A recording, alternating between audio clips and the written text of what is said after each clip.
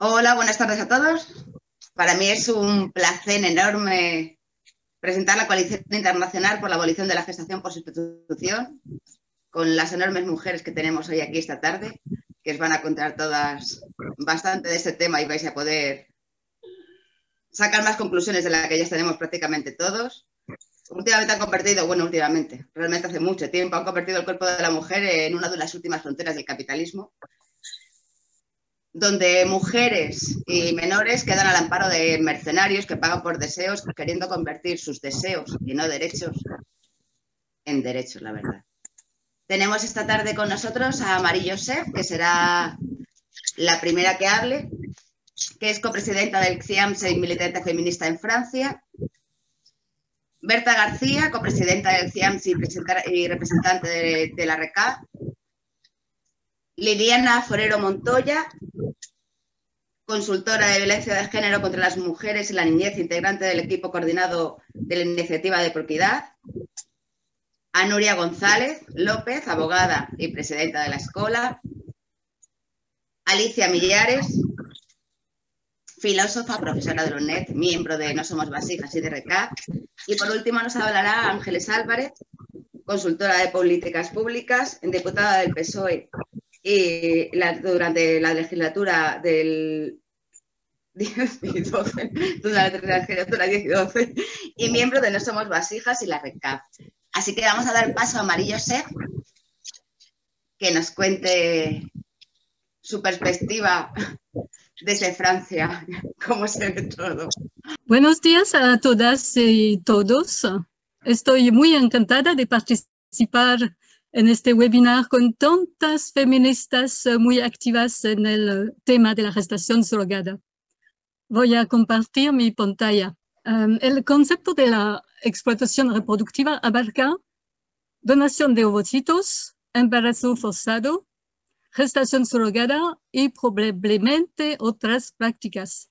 Me centraré en la gestación surrogada. La Declaración sobre la eliminación de la violencia contra las mujeres adoptada por la Asamblea General de las Naciones Unidas en 1993, define, la, violencia contra las mujeres.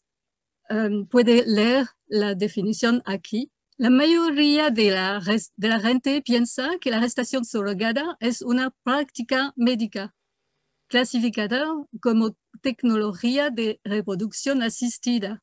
No lo es es una práctica social y comercial. La única parte médica en ella es la fecundación in vitro. Cura la maternidad surrogada a alguien, no cura a los padres comitentes, no cura a la madre surrogada. La madre surrogada es una mujer con buena salud y ningún deseo de tener hijos.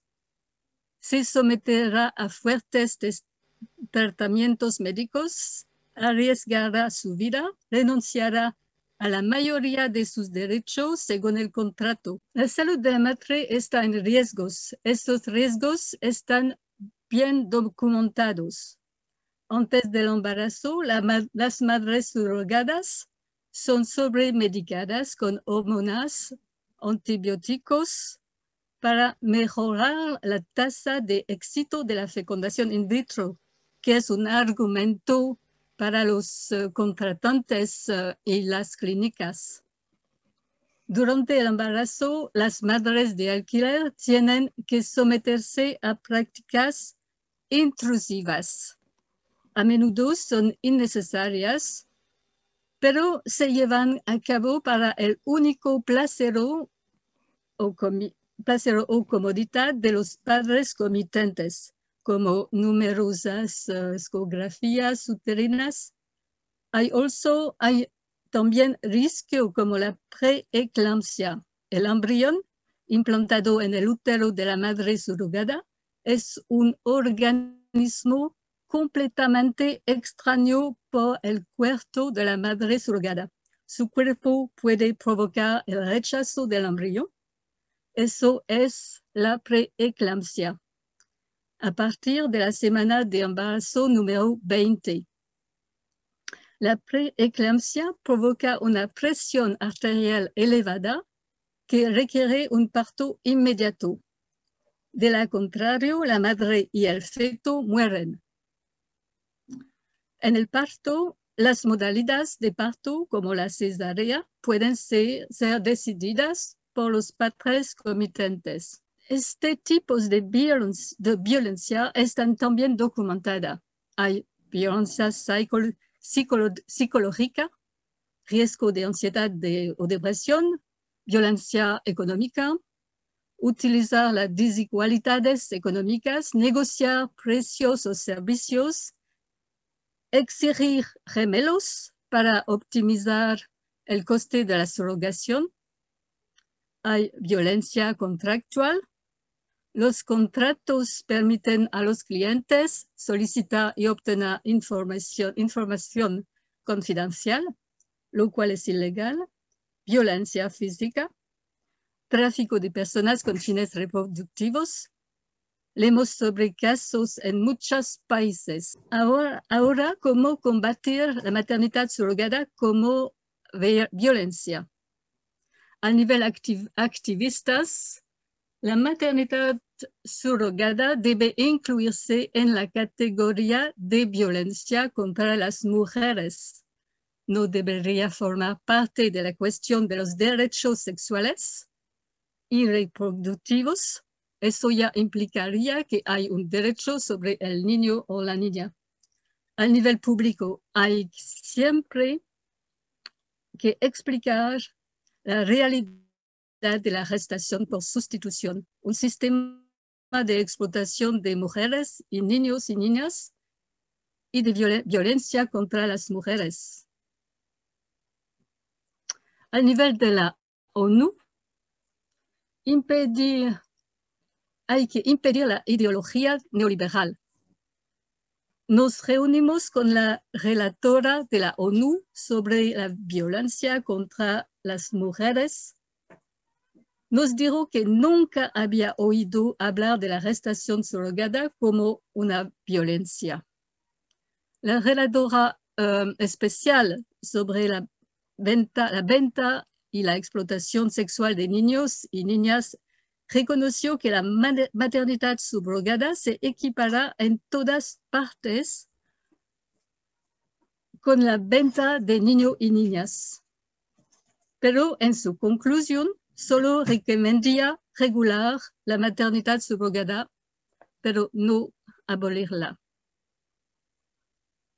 A nivel de otras instituciones internacionales, la Conferencia de la Haya de Derecho Internacional Privado está trabajando en, en un protocolo para regular la gestación surrogada. La CIAMS ha lanzado una campaña para bloquear este intento. Hemos propuesto una solución alternativa un proyecto de convenio internacional para abolir la gestación subrogada. En el Parlamento Europeo, este año, la enmienda sobre la gestación subrogada fue rechazada. Se trata de un paso atrás en esta cuestión. Hasta ahora, nos hemos referido al informe del año 2015 con el artículo 115 que condenaba claramente la gestación surrogada. Pero el Parlamento Europeo adoptó una resolución sobre la estrategia para la igualdad de, género. En esta resolución 32, la gestación surrogada se considera claramente una afrenta a la dignidad y los derechos humanos. Todavía queda mucho camino para que se reconozca que la maternidad surrogada es una afrenta a la dignidad humana y una violencia contra las mujeres. Para conseguirlo tenemos que ser muchas y decididas. Gracias por su atención. Muchísimas gracias, Mary. Eh, si quiero comentar que antes de Nuria González interviene Ana Tejo, que se me olvidó presentarla porque soy así de despistada, especializada, licenciada en Sociología y Ciencias Políticas y es la creadora y viene representando también, por supuesto, a estos vientres de alquiler, ¿vale? Ahora damos paso a Berta García. Berta. Hola, buenas tardes a todas y a todos. Eh, yo lo que mm, voy a exponer hoy es eh, a modo de cronología de la lucha feminista contra la explotación reproductiva aquí en España y eh, un poquito en el extranjero porque luego hablarán otras compañeras eh, sobre ello. bien, yo antes de 2010 no tenía mucha noción de esto, de qué estaba ocurriendo. Yo me hacía muchas preguntas, sobre todo a raíz del primer caso que conocí, que fue eh, el tema de la primera hija de Michael Jackson. Después fueron otras celebrities como mm, Elton John, Ricky Martin, la baronesa. Y en este mundo del papel cuché y de las celebrities, donde todo el mundo hace alarde de sus vínculos afectivos, familiares, yo me preguntaba, mm, bueno, ¿dónde está la madre de estos niños y de estas niñas? ¿Quién es? Mm, porque realmente no se hablaba nunca de ella, ¿no? Eh, la, la borraban, la escondían, y me preguntaba precisamente por qué, por qué la están borrando. Entonces, bueno, mm, yo eh, no tenía todavía eh, redes sociales prácticamente y tampoco había muchas lecturas eh, en las que, a las que poder recurrir. Entonces, bueno, mm, así fue como haciéndome estas preguntas, mm, me entero en, sobre 2013 que hay una asociación eh, surgida en un pueblito donde yo había vivido, eh, en Galicia, que reclamaba legalizar esta práctica. Y bueno, me quedé a cuadros, ¿no? Me enteré también de que pretendían recoger 500.000 firmas para presentar una iniciativa popular en el Congreso, una iniciativa legislativa popular. Bien, esas 500.000 firmas nunca se consiguieron, obviamente, pero en 2015 fue el partido político UPyD quien presentó en el Congreso una iniciativa legislativa para legalizar la explotación reproductiva, mal llamada gestación subrogada mal llamada gestación por sustitución. Y eh, no lo consiguió porque eh, tuvo los votos en contra del Partido Popular y del PSOE. En 2015 apareció por fin el manifiesto No somos vasijas. El manifiesto eh, No somos vasijas está totalmente vigente, sigue totalmente vigente y para mí es el documento fundacional de la lucha feminista contra la explotación reproductiva aquí en España.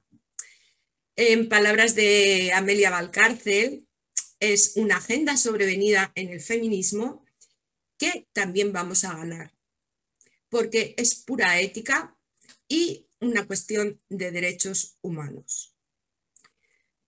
Se crea eh, una plataforma con el mismo nombre Hoy contamos aquí con dos de sus eh, fundadoras, precisamente, Alicia Millares, Ángeles Álvarez, y eh, a partir de ese momento empiezan a llover artículos, análisis, ensayos de feministas a las que yo estaré siempre, siempre agradecida. Y me gustaría citarlas a todas, pero es que son tantísimas que sería, que desbordaría eh, el límite que tengo para esta intervención. Pero realmente les debemos mucho a todas porque enfocaron desde todos los ángulos, aristas y facetas esta práctica y nos ayudaron muchísimo a todas las mujeres a, comprender qué es, a, ordenar nuestras ideas. ¿no? En, esta época se empezó a hacer muchísimo activismo en redes sociales, precisamente recogiendo ese argumentario, ¿eh? precisamente divulgando ese argumentario, se empezó a hacer mucho activismo en redes sociales donde nos encontramos, bueno, pues con, que una inmensa mayoría de la gente, de la opinión pública, no tenía mayormente idea de, este problema ni de lo que estaba pasando. Eh, pero bueno, empezamos a crear opinión poquito a poco.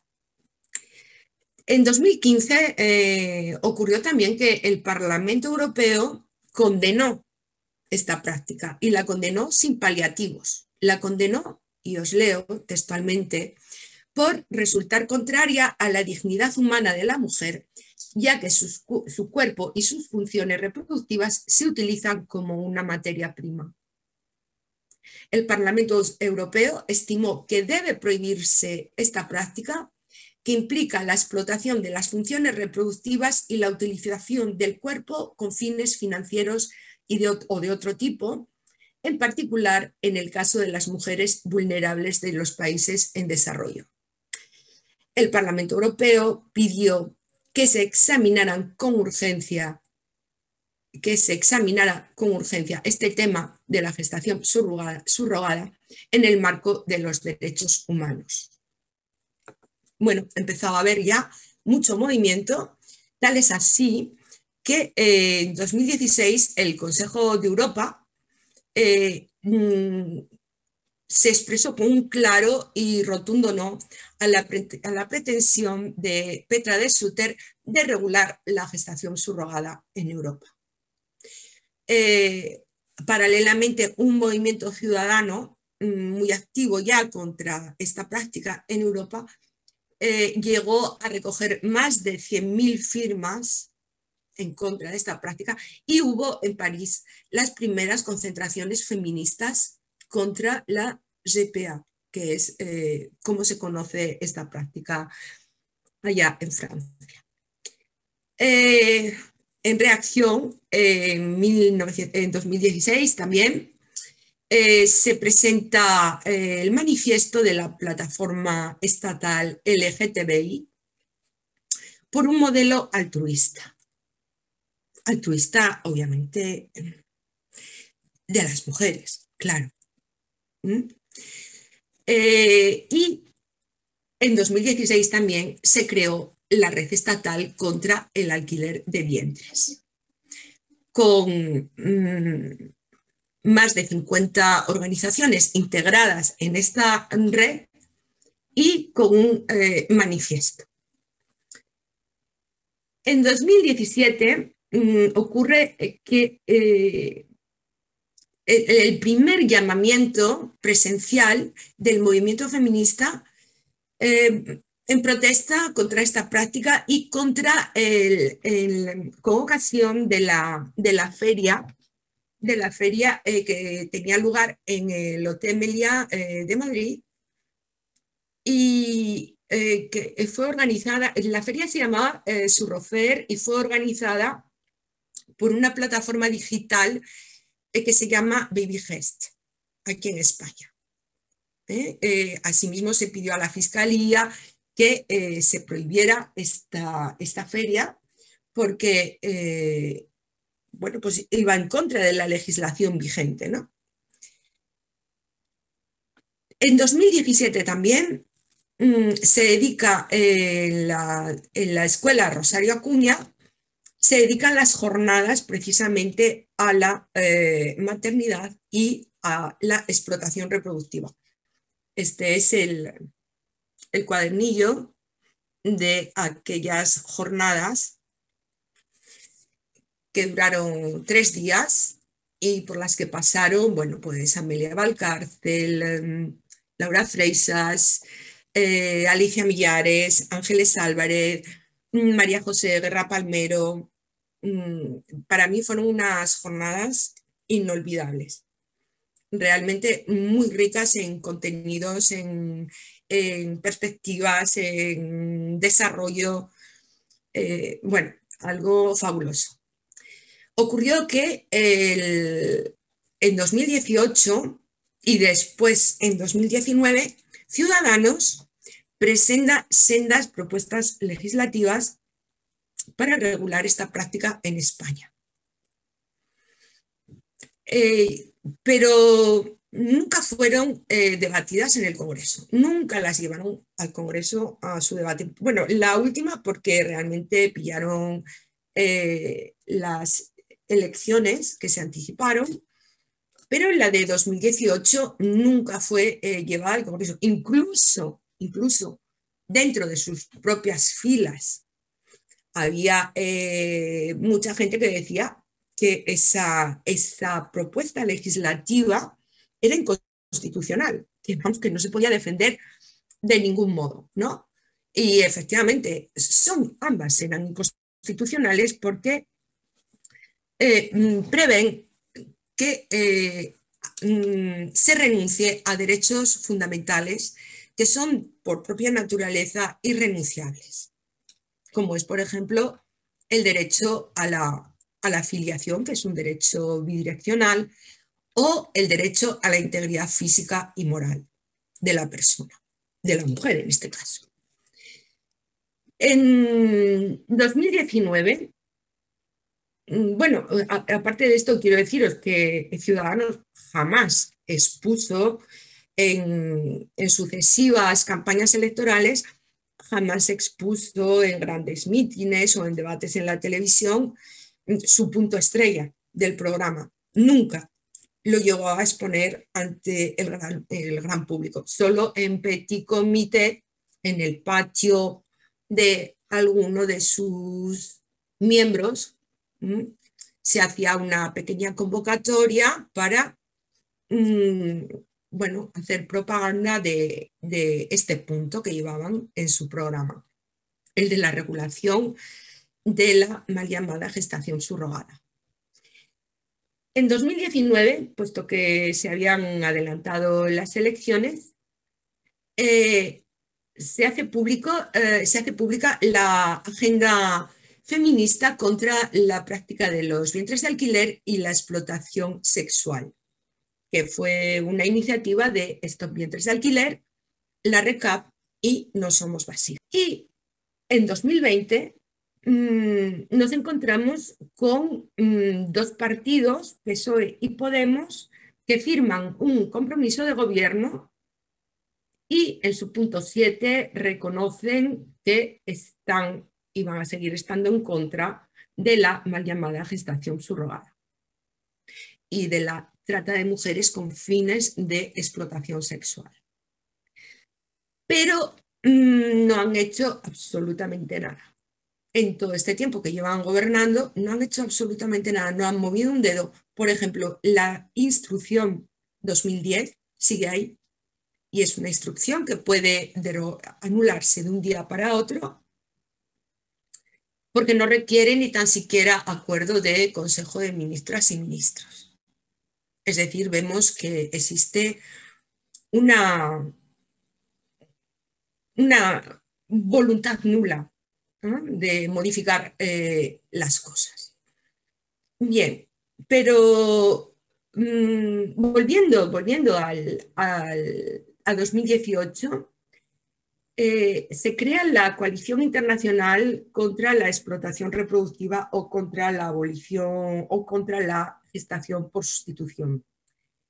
Eh, fue un, proyecto impulsado por eh, Lesbian Feminista et Le Corp, cuyas eh, dos representantes, Marie-Joseph de Villet y Anna Deram,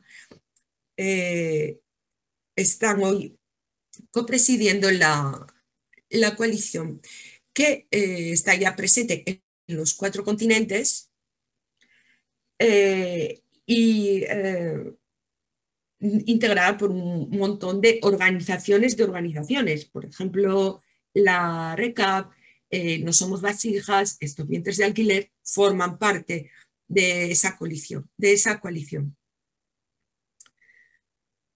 así fue como yo bueno, fui elegida como representante de la RECAP para, eh, como representante de la RECAP en la coalición internacional contra la explotación reproductiva.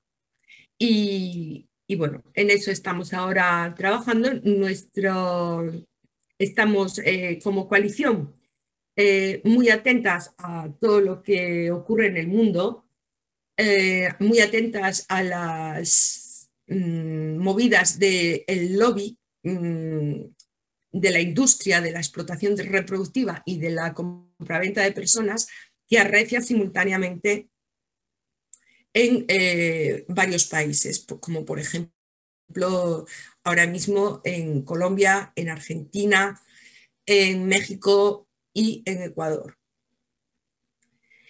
También promovemos y apoyamos acciones de organizaciones feministas, como recientemente el primer manifiesto latinoamericano contra la explotación reproductiva. Llevamos a cabo nuestros propios estudios, eh, actualmente un estudio sobre eh, la trata de mujeres con fines reproductivos,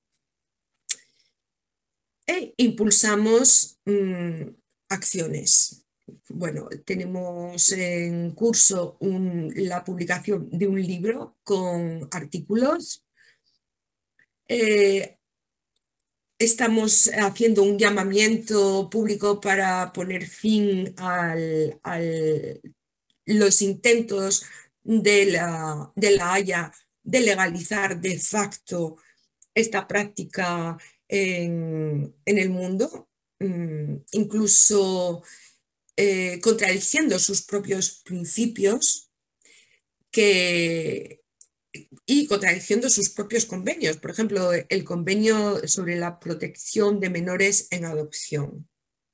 Y yendo mucho más allá de las competencias asignadas a la, a la conferencia de la Haya, puesto que el tema de la explotación reproductiva no es un tema de derecho internacional, internacional privado, es un tema de derechos humanos.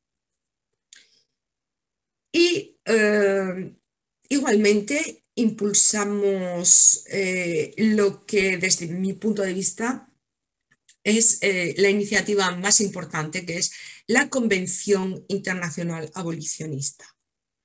Una Convención Internacional Abolicionista como alternativa a los intentos regulatorios de esta práctica.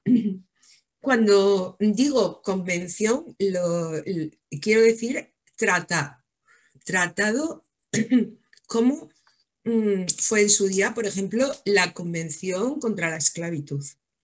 Queremos hacerlo llegar a todos los gobiernos, a todos los representantes políticos y legislativos de cada país, que sepan que existe una alternativa a cualquier intento de regulación de esta práctica y eh, y tiene que ser un, proyecto mm, a, corto, medio y largo plazo. Es decir, la convención ya está ahí y eh, veremos algún día, porque lo veremos, cómo esta práctica es desterrada eh, globalmente.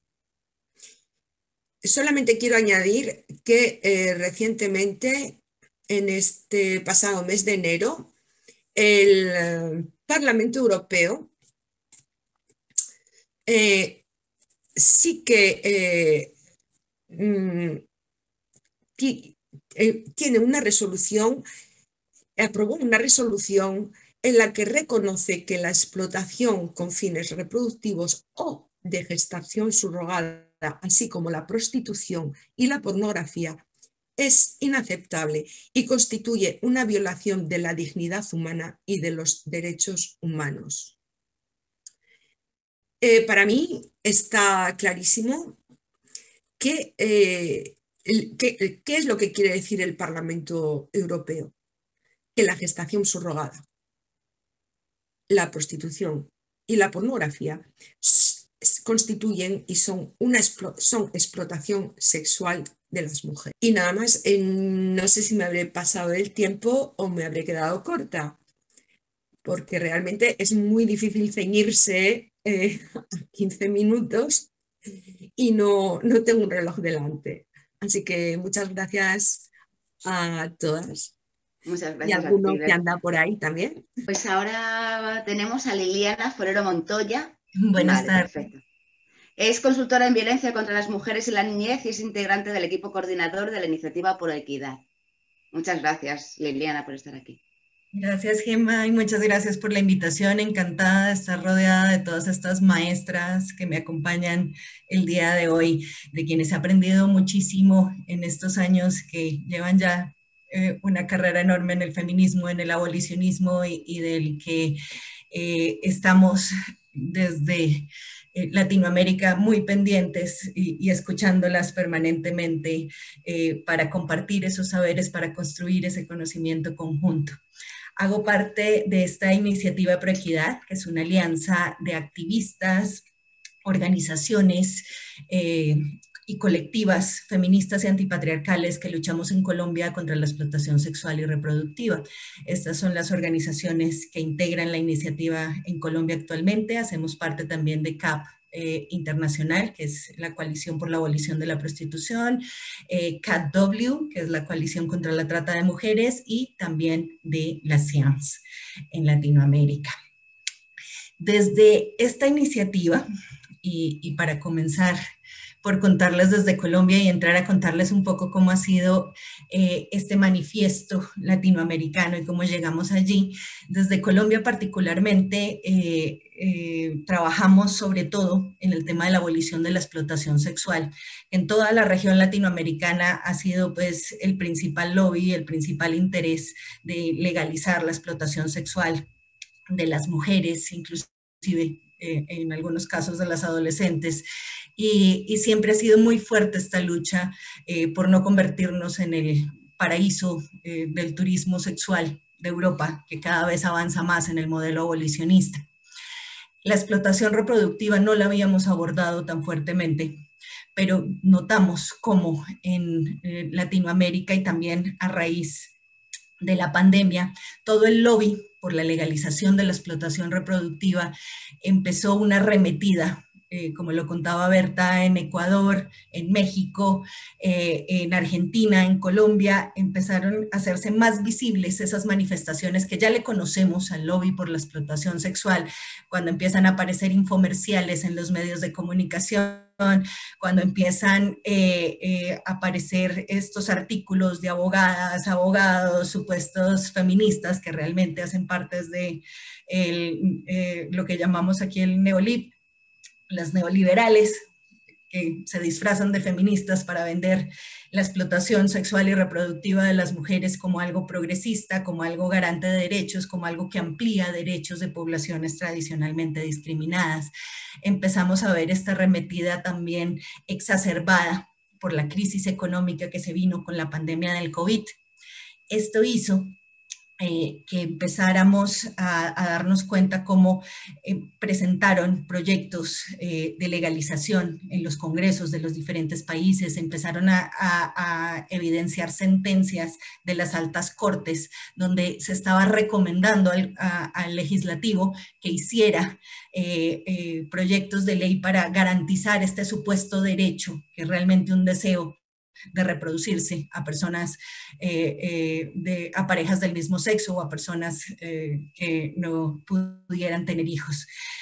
lo vimos en Argentina, lo vimos en Colombia, lo vimos en Ecuador, como todo esto se estaba disfrazando tras otros argumentos en los que se hablaba, por ejemplo, de matrimonio igualitario, de derecho a una familia, y detrás, colado, como llamamos aquí en Colombia cuando meten algo dentro de un proyecto de ley que no tiene que ver como micos dentro del proyecto de ley, dentro de las sentencias, aludiendo a la reglamentación de un negocio que eh, lo que busca es garantizar que los compradores de niños y niñas tengan todas las facilidades para hacer la afiliación de estos niños y niñas que encargan porque son hechos por encargo, es un producto hecho por encargo. Y este negocio eh, que estaba más o menos oculto en nuestros países, funcionando hace algunos años eh, de manera legal y de manera eh, no clandestina, porque las clínicas funcionan de manera oficial, pero sí eh, con poca presencia, con poca difusión, con poca publicidad, empieza a convertirse ya cada vez más en, un tema que, surge eh, como supuesto debate en los grupos feministas, en los medios de comunicación y en otros espacios.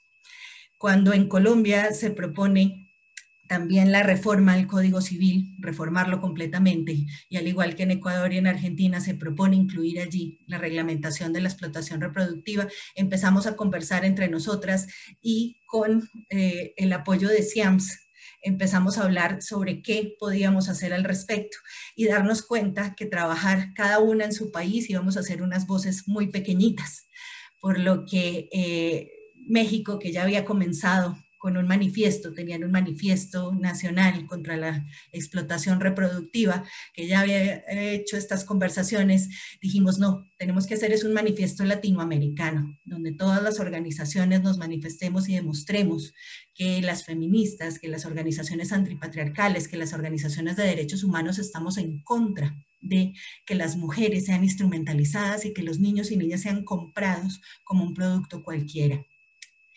Empezamos las siete organizaciones que estamos arriba aquí en el manifiesto a hablar con nuestras compañeras feministas, feministas abolicionistas, feministas radicales, eh, con organizaciones de derechos humanos, de derechos de la niñez y juntamos estas que se ven aquí al lado, estas 100 primeras organizaciones que empezaron a promover después de que eh, redactamos el texto del manifiesto, que ya se los voy a enseñar muy rápidamente.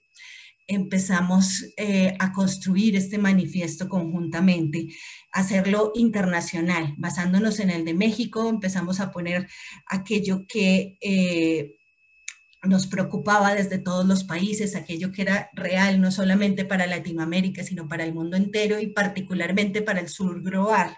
El sur global está siendo eh, no solamente explotado en todos sus recursos naturales, sino que ahora las mujeres, las niñas, los niños nos convertimos también en mercancía para exportar, en mercancía para ser consumida también por eh, personas con poder adquisitivo dentro de nuestros propios países.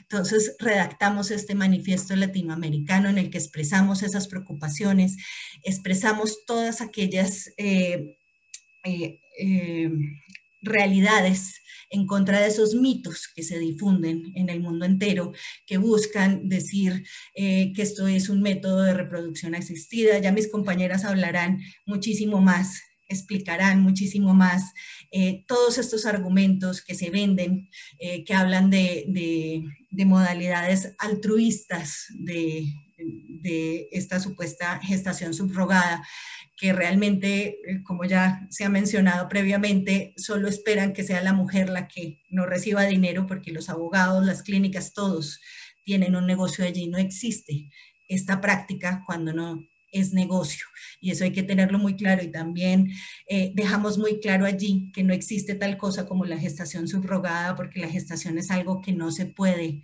subrogar, es una función eh, fisiológica que no es posible cederla, o sea, nadie puede dormir por uno, nadie puede comer por uno, entonces no se puede subrogar ni la función de dormir ni la función de gestar. Estos son eh, eufemismos, son oximorones que al igual que en la explotación sexual nos los venden para convencernos de que se trata de algo progresista, de algo de derechos humanos.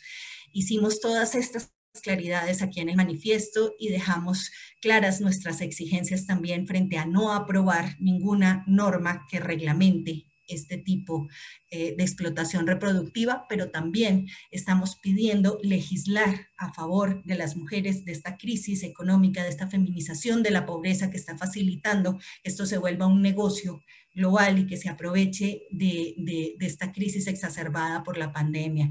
Entonces estamos pidiendo legislación ampliada, legislación que garantice que, por ejemplo, la trata de personas tenga claro que una de sus finalidades es la explotación reproductiva, que se castigue esta explotación reproductiva y que por ningún motivo se permita que estos compradores puedan tener la custodia de estos niños y niñas producto de esta explotación. Es el Estado quien debe responder por estos niños y niñas que se han producido como, eh, como eh, resultado de un proceso de explotación, de instrumentalización de mujeres. Eh, estas primeras 100 firmantes logramos que logramos reunir hasta la fecha, esto fue ya finalizando el, 2000, el 2020, hasta la fecha, dentro de este manifiesto, que ustedes lo pueden encontrar en nuestras eh, redes sociales, en Facebook, está siempre ahí ubicado para que todavía podamos recuperar muchísimas más firmas de organizaciones, eh, de activistas que se están uniendo a este llamado a nuestros países, a todo el sur global, al mundo entero, porque estamos pidiendo también dentro de este manifiesto que se firme también la convención internacional propuesta por las CIAMS. Eh, vamos a tener abiertas las firmas hasta marzo hasta el momento, desde finales del 2020, eh, recogimos eh, más de, firmas de más de 200 organizaciones, más de 1.400 activistas en más de 35 países. Hay eh, un acuerdo, hay un consenso global en que esto es explotación reproductiva y que nuestros países no nos la pueden vender y legalizar como si se tratase eh, de alguna práctica eh, de, de, reproducción asistida o como si se tratase de un derecho de parejas que no pueden acceder a él. Eso tiene que quedar muy claro en todos nuestros países y necesitamos sumarnos muchísimas más organizaciones, muchísimas más firmas, muchos más países para hacer esta incidencia a nivel mundial y detener esta instrumentalización de las mujeres, los niños y las niñas, que dejemos de ser tratados como mercancía. Uno de los temas claves que hemos discutido en este grupo latinoamericano es el tema del aborto y cómo en nuestros países que todavía están luchando porque se garantice nuestro derecho a un aborto legal, seguro y gratuito, esto está siendo aprovechado instrumentalizado para decir que ah, como tenemos derecho a hacer lo que queramos con nuestro cuerpo, entonces también podemos venderlo por partes o alquilarlo por partes. Y esto no es así, es todo lo contrario. La explotación reproductiva limita la posibilidad de las mujeres de decidir sobre sus propios cuerpos. Mientras sigamos siendo consideradas mercancía, mientras se siga considerando legítimo que se haga negocio con nuestros cuerpos, que se pueda comprar y vender un niño o una niña, siempre vamos a ser mercancía, no vamos a ser consideradas personas, sujetos. Entonces hay que entender muy bien y clarificar muy bien, porque a veces eh, podría decirse que por buenas intenciones se cree que esto es algo que garantiza derechos, pero necesitamos desmontar todos los mitos, paparruchas que existen alrededor de esta práctica y esto es algo que estamos haciendo con este manifiesto, el cual eh, apenas cerremos en marzo, vamos a empezar desde cada uno de nuestros países, enviarlo a nuestras organizaciones nacionales, pero también vamos a hacer una incidencia colectiva a los organismos internacionales y multilaterales para que escuchen nuestra voz y sepan que este negocio no lo vamos a permitir sobre nuestros cuerpos. Muchísimas gracias a ti, Lilian. Pues ahora habla Ana Trejo Pulido, licenciada en Sociología y Ciencias Políticas y creadora de Stop Vientres de Alquiler. Ana. Hola, hola a todas. Bueno, buenas tardes. Eh, me siento muy agradecida de estar aquí esta tarde con, todas vosotras en representación de estos vientres de alquiler y de mis compañeras Inma Guillén, Vanessa Rodríguez y Teresa Domínguez, eh, pues compartiendo, como digo, eh, con todas vosotras la presentación de esta coalición internacional contra, contra la explotación reproductiva somos todas muy conscientes de que, ante la globalización de la explotación y la opresión de, las mujeres, la única respuesta posible es la lucha feminista global e internacionalista. En 2015, Alicia Millares, eh, que es una maestra para nosotras, eh, lanzó el manifiesto No somos vasijas. Y desde entonces, pues las feministas hemos, hemos proporcionado a la opinión pública una buena batería de argumentos en contra de la práctica de la explotación de mujeres con fines reproductivos y este mercado de bebés de recién nacidos a la carta, ¿no? como estamos viendo aquí esta tarde. Ese fue pues precisamente el objetivo de la creación de estos vientres de alquiler en abril de 2017. ¿eh? Objetivo compartido y desarrollado junto a mis compañeras y también junto a las más de 29.000 personas eh, que nos siguen y que nos vamos siguiendo en redes sociales. ¿no? Em, contar la verdad sobre esta práctica, conceptualizarla como violencia contra las mujeres y, las criaturas y desmontar pues, toda esta cortina de amor romántico con la que la mayoría de los medios de comunicación de este país bueno, y del mundo ¿eh? y los lobbies del alquiler de mujeres, pues quieren ocultar eh, a la ciudadanía que la subrogación es una violación de los derechos fundamentales de las mujeres y de sus criaturas.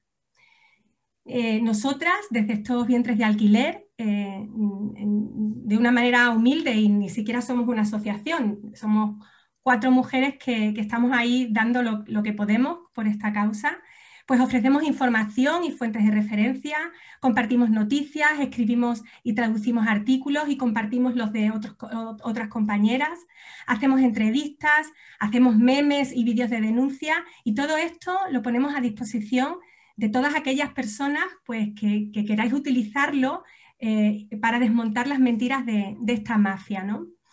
Eh, y esto lo hacemos desde el más absoluto amor a los derechos humanos de las mujeres y de los recién nacidos. Derechos que, como dicen siempre mis compañeras, no pueden cuestionarse, no pueden debatirse, sino solamente pueden defenderse.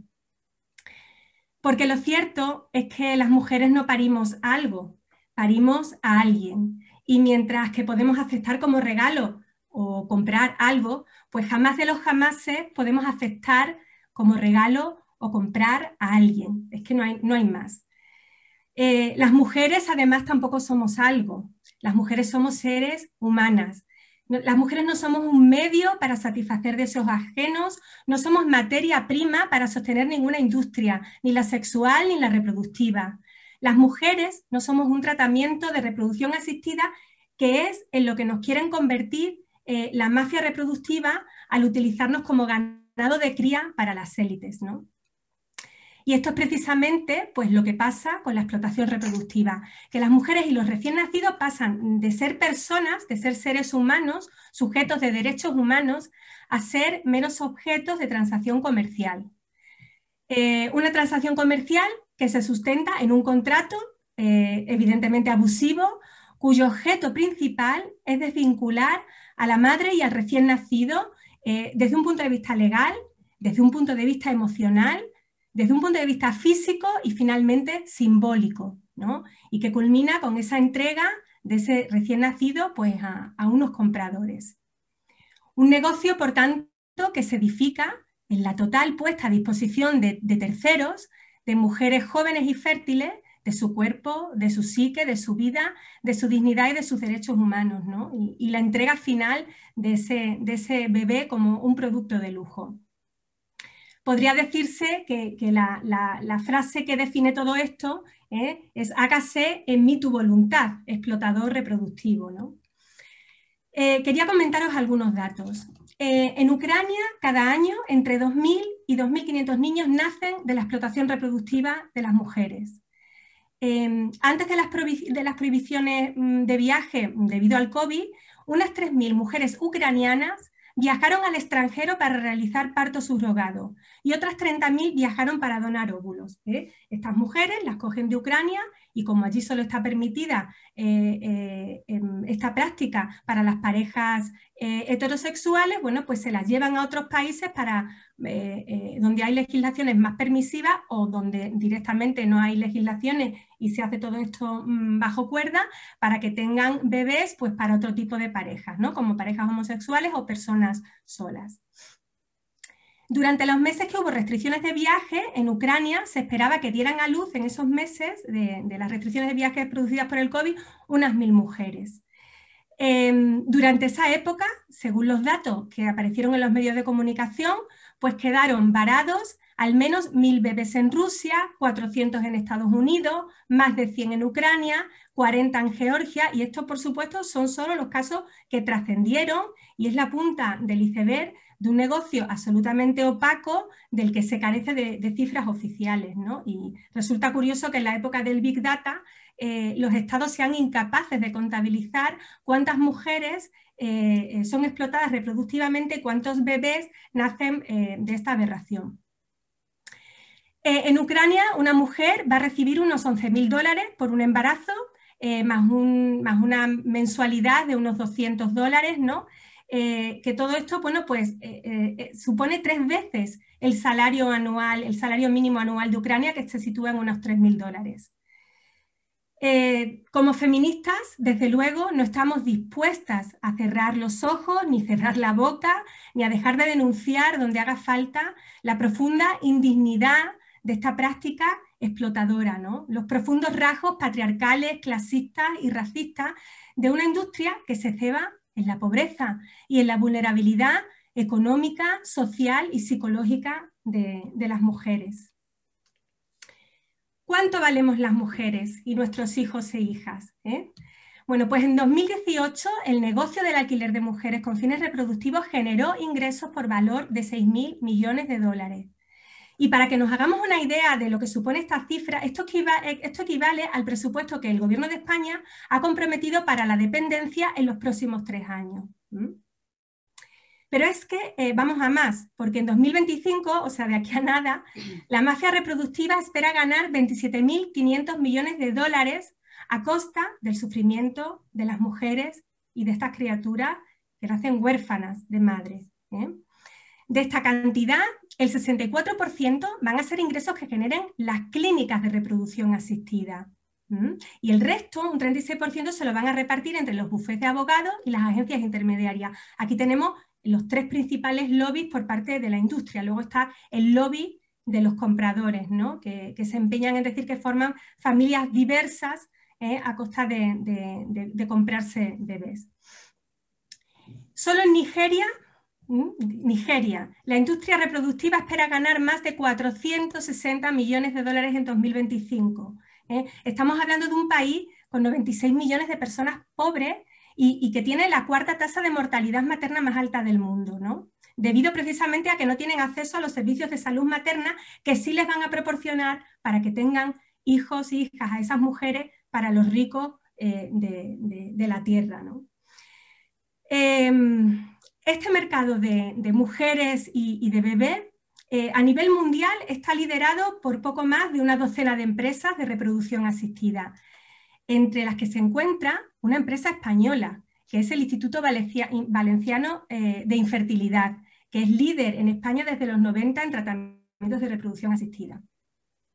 IBI eh, en 2017 se fusionó con una empresa norteamericana que se llama RMA y creó el grupo IBI RMA Global, eh, que son, es el grupo de reproducción asistida más grande de todo el mundo, con 65 clínicas en 11 países, Reino Unido, Portugal, Portugal, Italia, Chile, Argentina, eh, Brasil, Emiratos Árabes, Oman.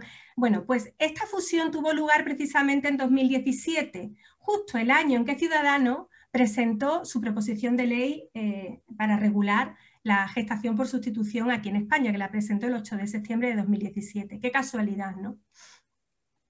Eh, también este grupo, IBI, ha estado presente en India y en México, pero en 2018 se retira dice porque ya no le interesa esta línea de negocio. Bueno, pues se, retira precisamente cuando en estos países ya se, ve que de momento no van a dar marcha atrás en las restricciones eh, eh, mm, que tienen a extranjeros para que no puedan acceder a, la práctica del alquiler de vientres.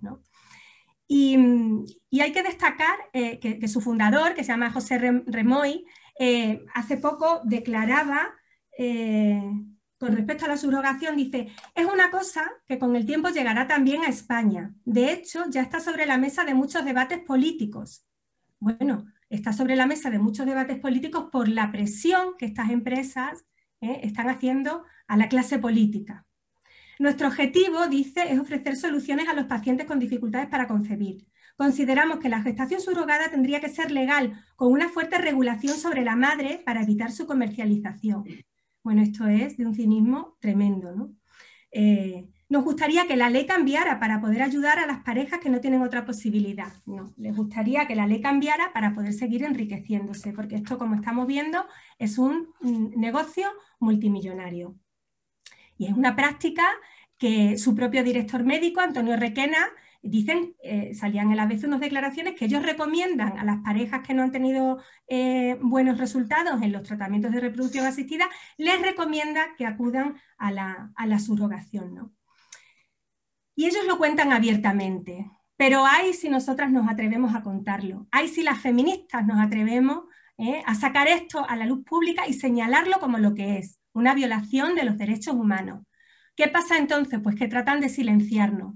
¿Eh? Y así llevamos desde hace meses con denuncias de las publicaciones que compartimos en nuestra página de Facebook, que tiene absolutamente limitada el alcance, eh, o presionan a los medios de comunicación para que nos censuren, ¿eh? como, como, me ha ocurrido recientemente en una entrevista que me hizo Nuria Coronado para Diario Público, de la cual eliminaron precisamente las preguntas donde contaba todo esto de IBIR. Eh, entrevista que, como muchas de vosotras sabéis, se ha vuelto a publicar completamente y espero que la lea eh, mucha gente, ¿no? Eh, y se ha vuelto a publicar después de que denunciara este hecho públicamente y gracias al apoyo de cientos de compañeras feministas que os hicisteis eco de, esta censura, censura provocada por las presiones de, esta gente. ¿no? desde estos vientres de alquiler nos preguntamos hasta cuándo el gobierno va a seguir blindando los intereses privados de estas empresas por encima de la dignidad de todas las mujeres del mundo y de, estos bebés de, diseño y, de encargo. ¿no? ¿Hasta cuándo se va a seguir facilitando vía instrucción del 2010 el negocio de la explotación reproductiva y que ciudadanos y ciudadanas españoles y empresas españolas, eh, como el Instituto Valenciano de Fertilidad, de Infertilidad y, otras muchas, pues sigan pisoteando los derechos humanos de las mujeres más vulnerables de, la Tierra. ¿no? Eh, quiero acabar mi intervención precisamente eh, recuperando el testimonio de cuatro mujeres explotadas por esta industria, eh, porque ese fue el objetivo de, la puesta en marcha de estos vientres de alquiler, dar, voz y contar la realidad de estas mujeres que están invisibilizadas del discurso que nos venden los medios de comunicación. Y estas mujeres no tienen más remedio que someterse a esta práctica eh, porque es la única eh, alternativa que tienen para poder desarrollar sus vidas y para poder acceder al dinero que les permite pues, pagar los estudios de sus hijos, sus propios estudios, montar sus pequeños negocios o acceder a servicios de, salud o, tener una vivienda. Paso a leer. Madre ucraniana.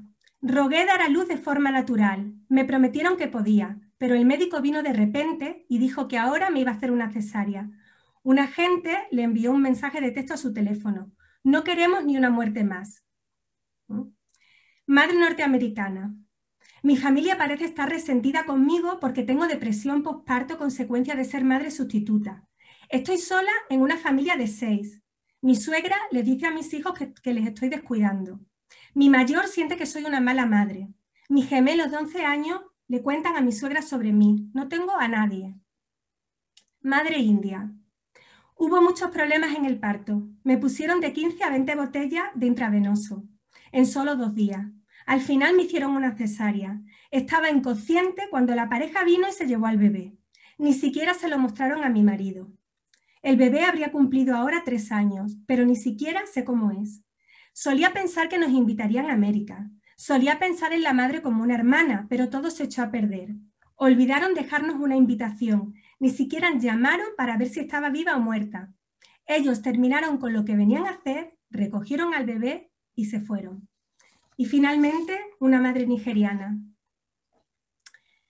Me convertí en madre sustituta para pagar mi matrícula y la de mi hijo, de, la educación se refiere.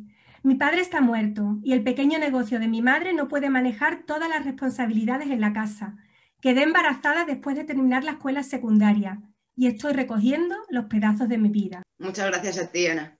Muchísimas gracias. Se ponen los pelos de punta cada vez que escuchas frases de ella realmente.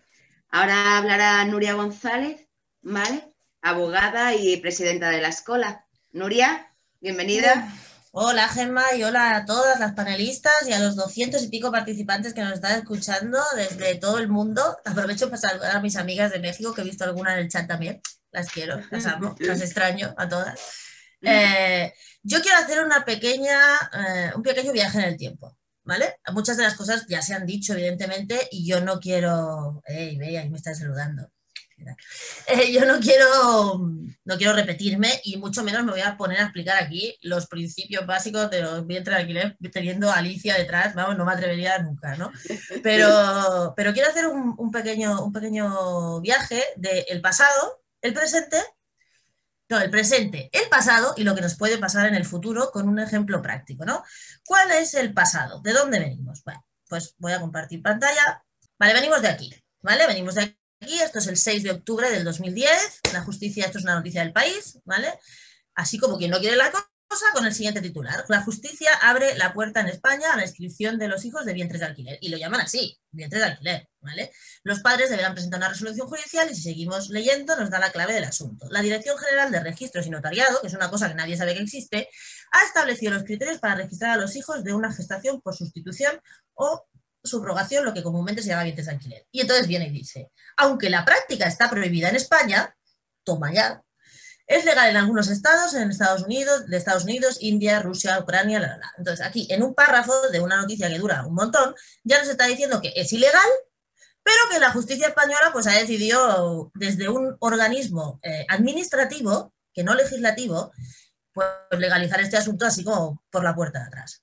Eh, reacción inmediata. Felicidad. Felicidades son nuestros hijos. Lo hemos conseguido. Están contentos, felices. Esta es una de las asociaciones de, contratantes de vientres de alquiler más importantes. Aquí ya nos dicen que el, 3 de mayo del año pasado, la resolución de inscripción, no sé qué, aquí se están felicitando. Ellos son los que realmente se felicitan porque han conseguido que se legalizara de facto y por la puerta de atrás los vientres de alquiler en España. Y lo han conseguido porque realmente es un logro de esta gente. Esta gente hizo sus contactos con quien en aquel momento estaba en el poder, que era el Partido Socialista, y sotoboche, con nocturnidad y alevosía, y en una semana, como ellos mismos declaran, eh, arreglaron el tema de la instrucción. De la mano de Pedro Cerolo y de tres o cuatro más, que ahora están en el gobierno, ¿vale? en, el Ministerio de Igualdad, concretamente todo junto, eh, pues lo consiguieron. Y en una semana teníamos la instrucción, que la instrucción, como bien ha dicho antes Berta, no es, una, no es un texto legal, no es un texto que se vote, es simplemente una instrucción administrativa que lo mismo que se pone se quita. Yo a mí me gusta siempre hacer el mismo símil, que, es para, anular la instrucción de 2010, hace falta hacer el mismo procedimiento administrativo que para anular una multa. Es decir, que el organismo que la ha hecho o el superior la anule. Punto. No tiene que pasar por el Congreso de los Diputados, no tiene que pasar por el, Consejo de Ministros, no tiene que pasar por ningún sitio. Es un acto administrativo que de la noche a la mañana se puede quitar. Quiero que luego, luego veréis el paralelismo con otro caso que sufrimos en España, que fue exactamente igual que este asunto. Bueno, después del 2010, ¿qué pasó? Voy, a ir compartiendo la pantalla porque... Eh, aquí, bueno, a partir de ahí se denuncian, como habéis dicho antes, las ferias de... Eh, de, pues eso, las ferias de vientres de alquiler que se celebraron en España, la del, la del 2000, mientras se abre, ¿vale? El Partido Feminista me parece que fue el que, el que denunció la primera, la primera feria, que era Surro Baby, o algo así se llamaba, una cosa horrible. La revista Baby Yes organizaba en, en España esta primera, esta primera feria en 2016. La denunciaron, pero les dijeron que no podían hacer nada. Esto denunciaron en el Ayuntamiento de Madrid y Manuela Carmena les dijo que lo sentía mucho, pero que ya no podía hacer nada.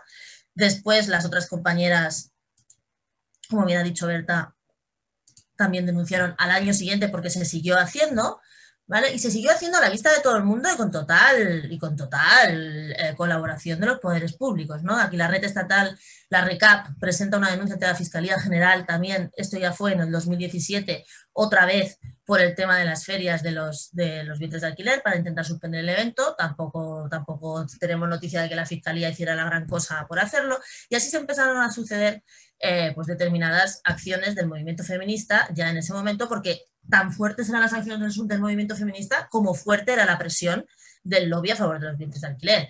Yo quiero decir una cosa que es que la gente luego se le olvida. Parece que fue Ciudadanos el que estaba solo en esta batalla de los bienes de alquiler. No, no. Y aprovecho para ahora que estamos en campaña electoral, en Cataluña meterme de pleno. Ciudadanos propuso la proposición de ley de bienes de alquiler y Esquerra Republicana la apoyó desde el minuto uno y lo sigue apoyando.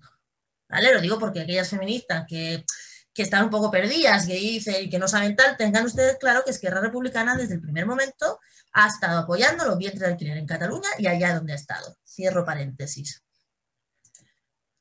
¿Qué ha hecho el, qué ha hecho el gobierno de España al respecto? Absolutamente nada. Pero absolutamente nada y mintiendo mintiendo, porque, por ejemplo, tenemos este caso, el caso de Ucrania, de la, del escándalo Biotexcom, donde eh, la fiscalía, ¿vale?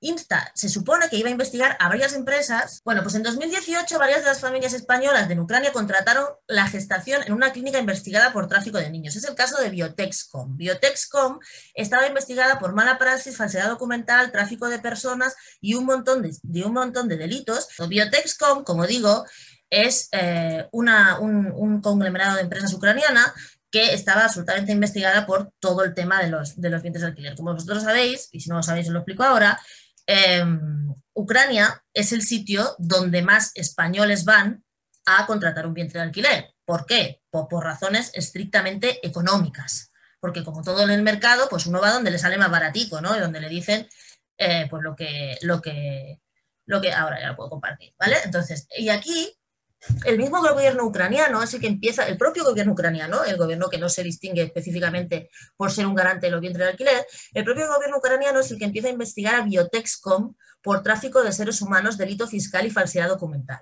Y es el propio gobierno ucraniano el que hace un llamamiento, el que insta a la Fiscalía Española, al Ministerio de Justicia, a que empiece a investigar a todas las personas españolas que habían ido a contratar un vientre de alquiler a través de esta empresa de Biotexco, ¿vale? No es España que dice, hostia, aquí hay una empresa que está em, que se está investigando por tráfico de bebés, vamos a investigar a la gente que viene de allí. No, no, España mira para otro lado hasta que la Fiscalía ucraniana la insta a que inicie una investigación, ¿vale? Y entonces la Fiscalía española hace lo que le gusta hacer, siempre, que es decir que va a hacer algo pero no hace nada. Entonces, justicia le pide, el, Ministerio de Justicia, todo esto estamos en el 2018, le pide a la Fiscalía que investigue las agencias de vientres de alquiler. Esto es una noticia de, eh, bueno, se publica en 2018 y además está muy bien porque el, veis aquí que lo primero que pone es que el Ministerio recuerda que esta práctica está prohibida en España. Hostia, desde el 2010, ya estamos aquí en el 2019, 12 de agosto del 2019, se mm, va diciendo que está prohibida en España cuando ya lleva más de nueve años una instrucción que ellos mismos aprueban, el propio Ministerio de Justicia, que aquí insta a la Fiscalía a investigar las agencias de bienes de alquiler, es de quien depende la eh, Dirección de Registros y Notariado, que aprueba la misma, la misma eh, instrucción que jamás tiene la mínima intención de anular. O sea, es todo una tomadura de pelo gigante, enorme en este país, cuando en realidad es facilísimo acabar con la entrada de los bienes de alquiler en España. Pero es la, la historia sigue. Entonces, no es que no hayamos hecho nada más, sino que además de que se supone que la Fiscalía está investigando por el tema de Biotexcom, que yo, si alguien de los participantes sabe del avance de esa investigación, por favor que lo diga, porque nosotros no tenemos la menor idea, no, ha, habido más iniciativas. De hecho, desde la escuela desde la escuela se presentó una querella contra las agencias de los vientres de alquiler y los cónsules que firman en el extranjero eh, los registros, porque sabéis que los niños en España que vienen de vientres de alquiler solo se pueden, solo se pueden inscribir en territorio eh, internacional, en los consulados en el extranjero. Ningún niño, teóricamente, se puede inscribir en el registro civil de Málaga por un vientre de alquiler, tiene que venir inscrito desde fuera. ¿Y esto por qué es? Porque en la instrucción lo que te dicen es, oiga, traiga usted un papel del país donde sea, en el que, es, en el que ese país sea legal, o sea, que, en ese país ese papel diga que usted es el padre y la madre, o el padre solo, o la madre sola de esa criatura, pero que sea legal en ese país, que nosotros, como es legal en ese país, lo apuntamos. No os importa tres, tres pitos si, si la, la, manera en la que haya usted conseguido el niño. Lo, importa, lo importante es que usted traiga un papel oficial de ese país que nosotros lo apuntamos. ¿Por qué ponemos esta querella? Por varias razones, pero básicamente por dos. Primero, porque si está prohibido en España, y así lo, lo recoge la, la, sentencia del Tribunal Supremo de 27 de febrero de 2014, que no ha sido controvertida, que no tiene ninguna otra sentencia que diga lo contrario y que dice claramente que los vientres de alquiler son nulos y que no se pueden permitir en España que desplieguen sus efectos esos contratos porque van contra los derechos humanos de las mujeres, contra los derechos humanos de los niños y contra el orden público, el Tribunal Supremo y desde el 2014 se están pasando al Tribunal Supremo por el arco del triunfo. Porque claro, yo no conozco a nadie que se pueda pasar la sentencia del Tribunal Supremo por, por la gorra, excepto la gente que acude a un vientre de alquiler, que viene y sigue haciendo lo que le da la gana. ¿eh? Y aquí no pasa nada. Entonces, lo que hace la escuela es presentar una querella contra las agencias de vientres de alquiler, porque las agencias de vientres de alquiler son, los que están haciendo el negocio aquí, pero además a ojos vista. Quiero decir, tú para buscar una agencia de vientres de alquiler no tienes que ir a un sitio siniestro, ni escondido, ni absolutamente nada. Están en Internet se anuncian como agencias de vientres de alquiler y hacen negocio de vientres de alquiler. Y aquí nadie mueve un puñetero dedo. No es que se, no es como una, una, red de tráfico de drogas que la tengas que buscar y que tengas que perseguirlos. No, no, no, no, no. Estos tíos hacen negocio a la vista de todo el mundo. Además, investigando, investigando, porque claro, la duda nos asalta cuando decimos, coño, ¿cómo puede ser una empresa con uno que tiene un objeto de negocio prohibido en España que esté dada de alta en Hacienda. Pues investigando, investigando, investigando, resulta que en los registros mercantiles todas estas empresas están dadas de alta con eh, actividades económicas tan variopintas como alquileres de pisos turísticos, import-export de coches o de material de construcción o cualquier otra actividad que obviamente nada tiene que ver con lo de alquiler porque no se puede. Y además todas casualmente tienen una, un, capital social de los 3.000 euros peladillos, ¿vale? Esto lo digo porque contrasta muchísimo los 6.000 millones de dólares que ha dicho Ana antes que facturaba toda esta gente en el 2018 y estamos hablando de empresas que tienen un capital social de 3.000 euros. O sea, todo es un enorme fraude fiscal, en realidad, porque además está el tema de la facturación.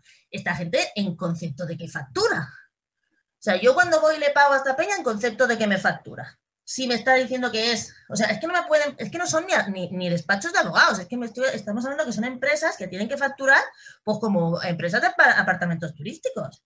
Ya si no los quieren enganchar por un tema de derechos humanos, por lo menos que lo enganchen por un tema de Hacienda. Porque a nosotros, y lo supongo que le pasa a todos los que me están viendo, si le una multa o hacéis mal una declaración de Hacienda, os persiguen hasta el fin de los infiernos. Y esta gente tiene carta blanca para hacer lo que les dé la gana. Entonces, esos eran los, los, los, los motivos por los que presentamos la querella contra los bienes de alquiler.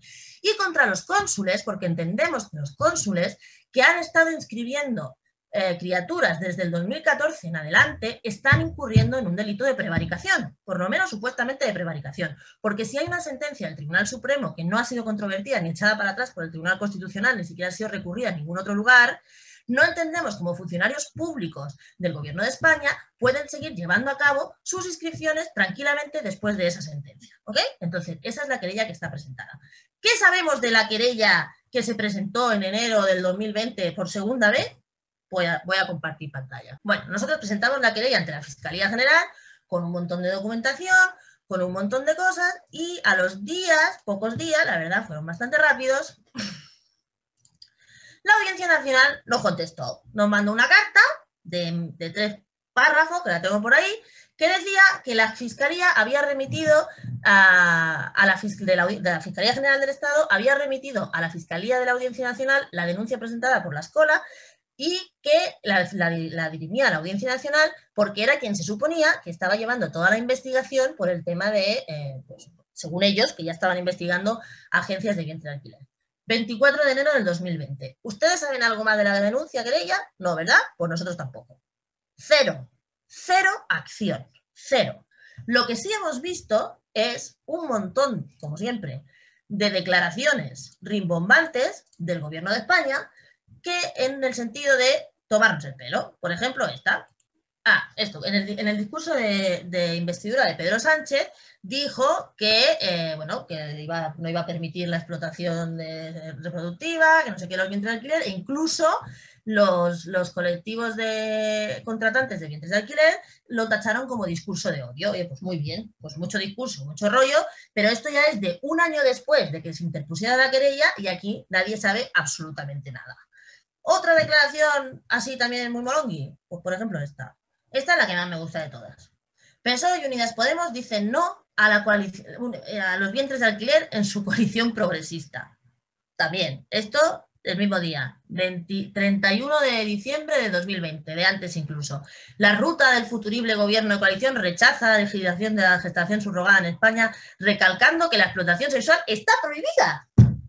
A mí me parece una cosa muy cachonda que digan en todos lados que está prohibido y sin embargo no hagan absolutamente nada por cerrar la puerta a un delito que se está cometiendo una vez y otra vez y otra vez, porque no es que esté prohibida por gusto, es que está prohibida porque está tipificada en el artículo 221 del Código Penal, que dice que el que alterare la afiliación por o sin dinero estará sometido a una pena de prisión y de inhabilitación para patria potestad, la, la, la, la, la, la, la, O sea, cuando decimos, y esto tiene que quedar muy claro, que las estaciones subrogadas y los bienes de alquiler se tienen que legislar, no se tiene que legislar, señores. Lo que se tiene es que cumplir la ley, porque legislados están de sobra, están prohibidos y están penados, ¿vale? Este es nuestro presente, hoy. Este es el presente después de un año de gobierno progresista, de coalición progresista que se declaró en contra de los bienes de alquiler, aún no hay nadie que haya movido un papelito ¿vale? Para, para, tirar la instrucción del 2010 atrás. Y eso, y eso que han reformado incluso la Dirección General de Registros de Notariado, que ahora se llama Dirección General de Fe Pública y Seguridad Jurídica. Ya me parece la repera que se llame de Seguridad Jurídica y de Fe Pública, una cosa que, que está constantemente incumpliendo la sentencia del Tribunal Supremo, entre otras cosas. Este es el presente en España de los vientres de alquiler. Y ahora os voy a poner un ejemplo para que veáis el paralelismo y hasta dónde llegamos con temas tan importantes como la, las dos caras de la misma moneda en la, en la mm, explotación, eh, la mercantilización del cuerpo de las mujeres. Y ahora me voy a referir, y diré, ¿y esta por qué habla de esto ahora? Pues porque es lo mismo y es el mismo mecanismo y es exactamente, exactamente el mismo recorrido el que estamos llevando. Os voy a hablar del sindicato Otras. Para quien no lo sepa, porque hay gente que nos escucha de por ahí, igual no sabe lo que es, el sindicato Otras es eh, un sindicato que se creó, que firmó y aceptó el Ministerio de Trabajo de la ministra eh, Magdalena Valerio del, primer gobierno socialista de Pedro Sánchez, en el que se constituía como sindicato de trabajadoras un sindicato de mujeres prostituidas. Y dirán, coño, pues ¿por qué no se pueden sindicar? Pues, muy fácil, porque las mujeres prostituidas, los, los sindicatos que se constituyen al albur de la ley de libertad sindical son para trabajadores por cuenta ajena, ajena. Esto quiere decir que siempre tienen que tener un jefe, una patronal. Y la patronal de las mujeres prostituidas es siempre y será siempre el proxeneta. Entonces, legalizando un sindicato de mujeres prostituidas, a la vez estamos legalizando el proxenetismo como una patronal, dándole pábulo a los proxenetas en lugar de delincuentes de honorables empresarios. ¿Qué pasó? ¿Cómo fue aquella historia que además coincide más o menos en el tiempo entre el 2018 y el 2020? Primero, el, bueno, es que no sé ni cómo calificar. Voy a poner el titular y vosotras ya lo recordaréis seguro. ¿eh? Toda la historia empieza así. Valerio asegura que le han colado un gol, que, todas que la, frase del gol la recordaremos todas, y que anulará el sindicato de trabajadoras sexuales. La ministra de Trabajo dice que ha sido una sorpresa conocer la publicación del BOE y que preguntará a la persona encargada del expediente por qué no se le informó. Bueno, lo interesante de este titular, lo interesante es que anulará el sindicato de trabajadoras sexuales. ¿Por qué? Porque jamás lo anuló nunca, ni siquiera hoy, ¿vale? Pero bueno, seguimos con la historia. Ella se pone los pelos, agobia, me han un gol, esto es una pena. Uy, calla, calla. Y, todo se pone, bueno, todo se, genera una historia. Y nosotras, desde la escuela también, esto fue el 30 de, de agosto. El mismo 30 de agosto, porque de esto nos enteramos, y esto me gusta explicarlo porque la gente no lo sabe, un alma cándida o caritativa, un ángel de la vida, que no sabemos todavía quién es, nos filtra eh, el acuerdo del BOE por el cual se legaliza el sindicato Otras. ¿vale? ese acuerdo del BOE es de 4 de agosto. Todo el mundo está en agosto en España mirando el BOE, obviamente, todo el día. ¿Vale? Entonces, el 4 de agosto se aprovecha para publicar la inscripción en el registro de sindicatos del sindicato Otras. ¿Vale? Nadie lo ve, obviamente, nadie está el 4 de agosto viendo el BOE, hasta que el día 29 de, agosto alguien, que no sé quién es, lo prometo que no sé quién es, empieza a filtrar ese acuerdo del BOE por diferentes sitios y empieza a circular por los chats y de repente llega a nuestras manos ese acuerdo, ese acuerdo de, tal. Desde la escuela, yo y mi compañera Melche Cabezón, desde aquí la saludo muchísimo porque ella es la que pone las demandas y la que hace el trabajo bien hecho, ¿vale? Eh, si no fuera por ella no estaríamos aquí. Eh, decidimos interponer, antes que una demanda, interponemos lo que se interpone contra un acto administrativo, que es otro acto administrativo. El mismo 30 de, agosto interponemos el acto administrativo diciendo que el, el gobierno, el Ministerio de Trabajo, ha hecho un, acto contra ley, ¿vale? Y que tiene que, que tiene que anularlo, porque es un acto que va contra la ley y lo, y lo, presentamos. ¿vale? Lo presentamos y la cosa nuestra era, nuestra idea, al más cándidas de Dios, era, seguro que cuando les llegue, seguro que cuando les llegue, dicen, mira, que es verdad, nos hemos equivocado, vamos a arreglarlo, ¿vale? Total, que presentamos el, el recurso administrativo pensando que en cuanto se recibiera en el ministerio, pues que se iba el ministerio, pues aprovechando el recurso que se había presentado, porque el ministerio no puede ir contra sus propios actos, pero si alguien se lo reclama, sí puede hacerlo, ¿vale? Entonces nosotras presentamos contentas y felices ese, ese recurso pensando que el Ministerio iba a actuar de oficio y iba a anular, aquí está, iba a anular ese, ahí está, 30 ¿eh? de agosto, ¿eh? el mismo día de las declaraciones de la ministra presentado al Ministerio del Interior. Iba a aprovechar para anular el sindicato y lo iba a borrar, porque tú, en este caso, nosotros pensamos, no podemos ir contra el sindicato, porque el sindicato no se puede borrar a sí mismo de la lista. El único que lo puede borrar es el ministerio que lo ha apuntado, ¿vale? Entonces nosotros presentamos esto. ¿Y cuál es nuestra sorpresa? Cuando no nos contestan. El ministerio se hace el longis, no nos contesta y van pasando los días. Van pasando los días y esto tiene un plazo. Entonces, como, como la América es la buena en este asunto, empieza a contar los plazos y, hablamos y dice, oye, esto se va a pasar y entonces, a, título de como preventivo, presentamos también la denuncia ante la Audiencia Nacional contra el Ministerio. ¿eh? La escuela jamás denunció al sindicato de otras, contra el Ministerio de Trabajo por la inscripción por nulidad de pleno derecho de su acto administrativo de inscribir un sindicato de mujeres prostituidas. Bueno, pensando que no íbamos a llegar a juicio porque el, porque el, porque el Ministerio iba a hacer su trabajo iba a anular su propio acto, pues igualmente lo presentamos. ¿Cuál es nuestra sorpresa cuando empiezan a pasar según qué cosas? Nos empezamos a dar cuenta de que el Ministerio de Trabajo eh, no, no, empieza a hacer nada, pero sin embargo empieza a mentir, a mentir descaradamente. Mientras que a nosotras nos mandaba una carta diciendo que, iban, a, que iban a seguir el, trámite administrativo y que no podían hacer nada, la ministra Valerio seguía paseándose por, la, por los medios de comunicación diciendo este tipo de, eh, de, de declaraciones de me han colado un gol, anulará Valerio el, sindicato de trabajadoras sexuales. Cuando nosotras ya sabíamos que la intención del Ministerio de Trabajo no era anularlo, sino que luego por fin hizo unas declaraciones Valerio en la prensa diciendo que mejor se iban a esperar a ver qué decían los tribunales. Estamos ante una situación otra vez, igual que con los vientres de alquiler, en la que el propio gobierno podía haber enmendado su error y no lo hizo porque no le dio la gana. Literalmente porque no le dio la gana. Otras compañeras llegaron y pusieron otra denuncia en la Audiencia Nacional, esta vez contra el propio sindicato. Eh, ese juicio y el nuestro estaba, estaba señalado para el mismo día, el otro juicio se celebró media hora antes, y lo que pasó allí fue que, eh, bueno, no, perdón, espérate. Antes de todo esto, quiero decir que en el proceso judicial de la demanda que nosotros pusimos, nosotros presentamos eh, una demanda contra el Ministerio de Trabajo por el tema del, sindicato y el Ministerio de Trabajo podía haber hecho dos cosas. Contestar a la demanda para defenderse por haber inscrito diciendo que tenía razón al inscribir el, sindicato o allanarse diciendo que nosotras teníamos razón y se allanaban el proceso.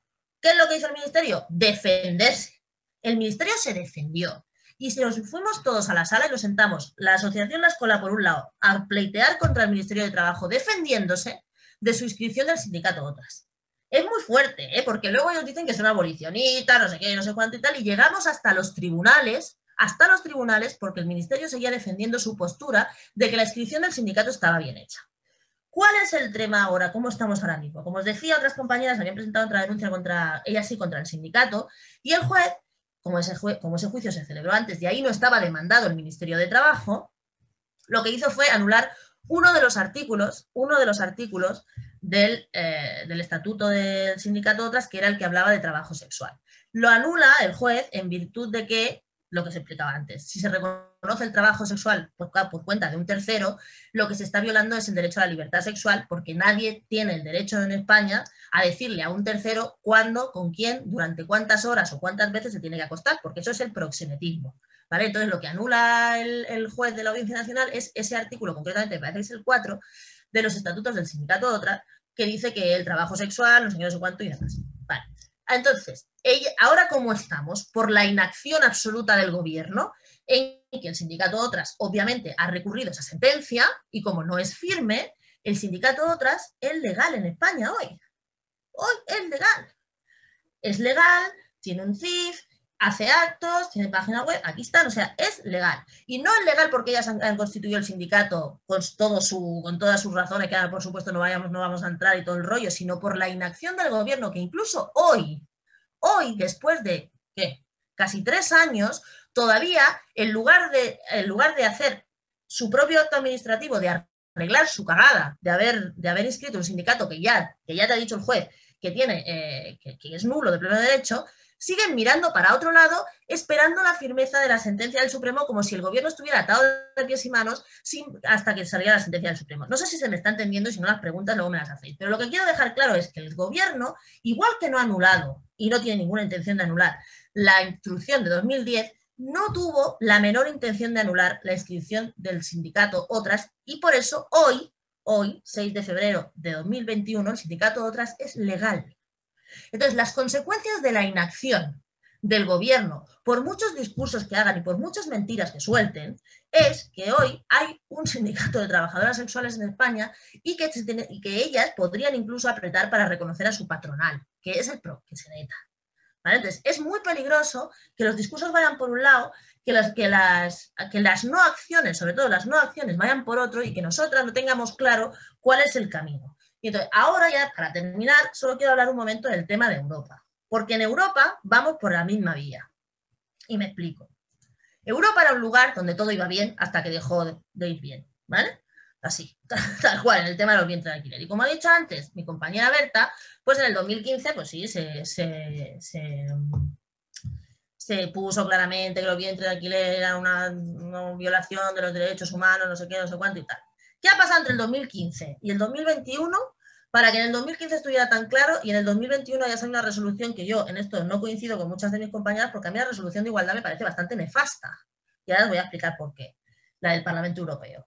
Eh, resulta que ha pasado esto. No sé si conocéis NELFA, seguramente muchas sí lo conocéis. NELFA es el, el lobby más importante y más gordo de presión con una cantidad de recursos flipante eh, de, familias eh, diversas, ¿vale? Es el colectivo, concretamente significa, espérate porque lo tengo por aquí, intergrupo, bueno, el, lobby LGTBI, la, asociación LGTBI más grande de toda Europa, que se dedica pues a poner sus temas encima de la mesa en el Parlamento Europeo y hacer de lobby, pero de lobby de verdad, ¿vale?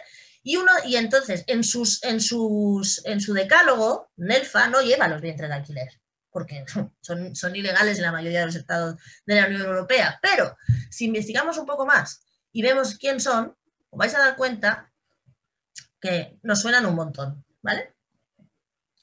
Nos suenan mucho. Una asociación que tiene entre sus miembros más destacados, que ahora saldrá, ¿los veis bien? No sé por qué no se ven bien. Por ejemplo, son nuestros hijos, por ejemplo, Galei, por ejemplo, familias LGTBI. Voy a quitar esto de aquí.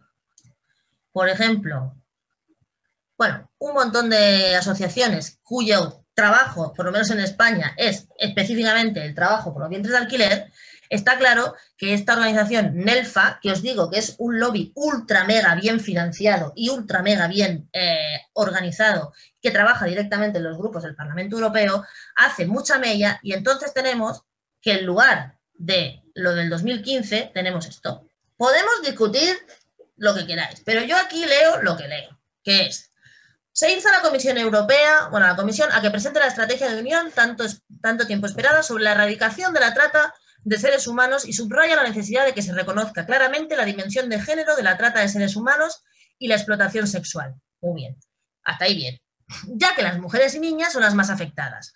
Reconoce que las... Ojo aquí al dato, ¿eh? Reconoce que la explotación sexual con propósitos de reproductivos y de gestación subrogada o para fines con matrimonios forzados, la prostitución y la pornografía es inaceptable.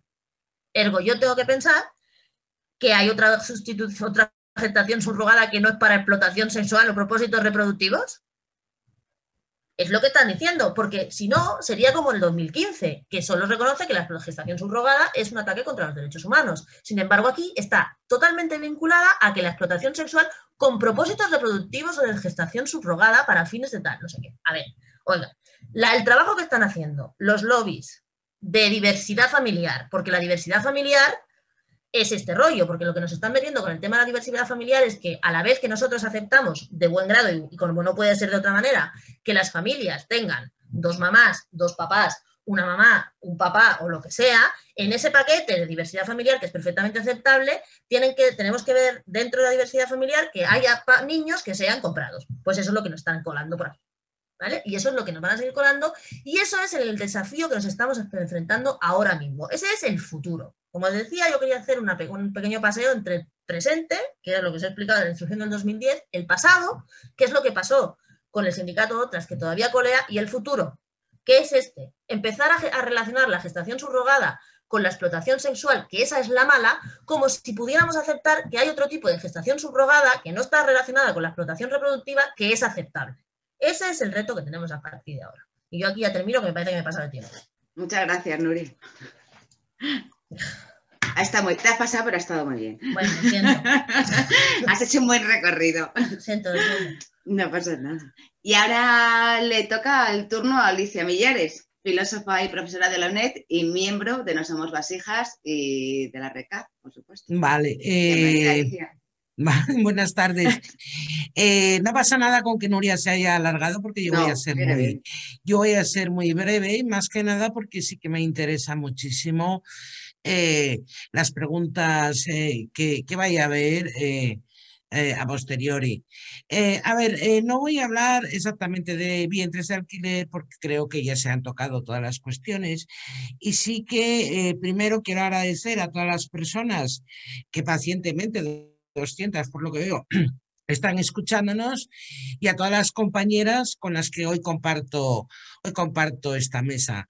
Aprovechando eh, que estamos haciendo la presentación de una ah, coalición internacional eh, contraria a la práctica del alquiler de vientres, me gustaría lanzar una alerta feminista internacional.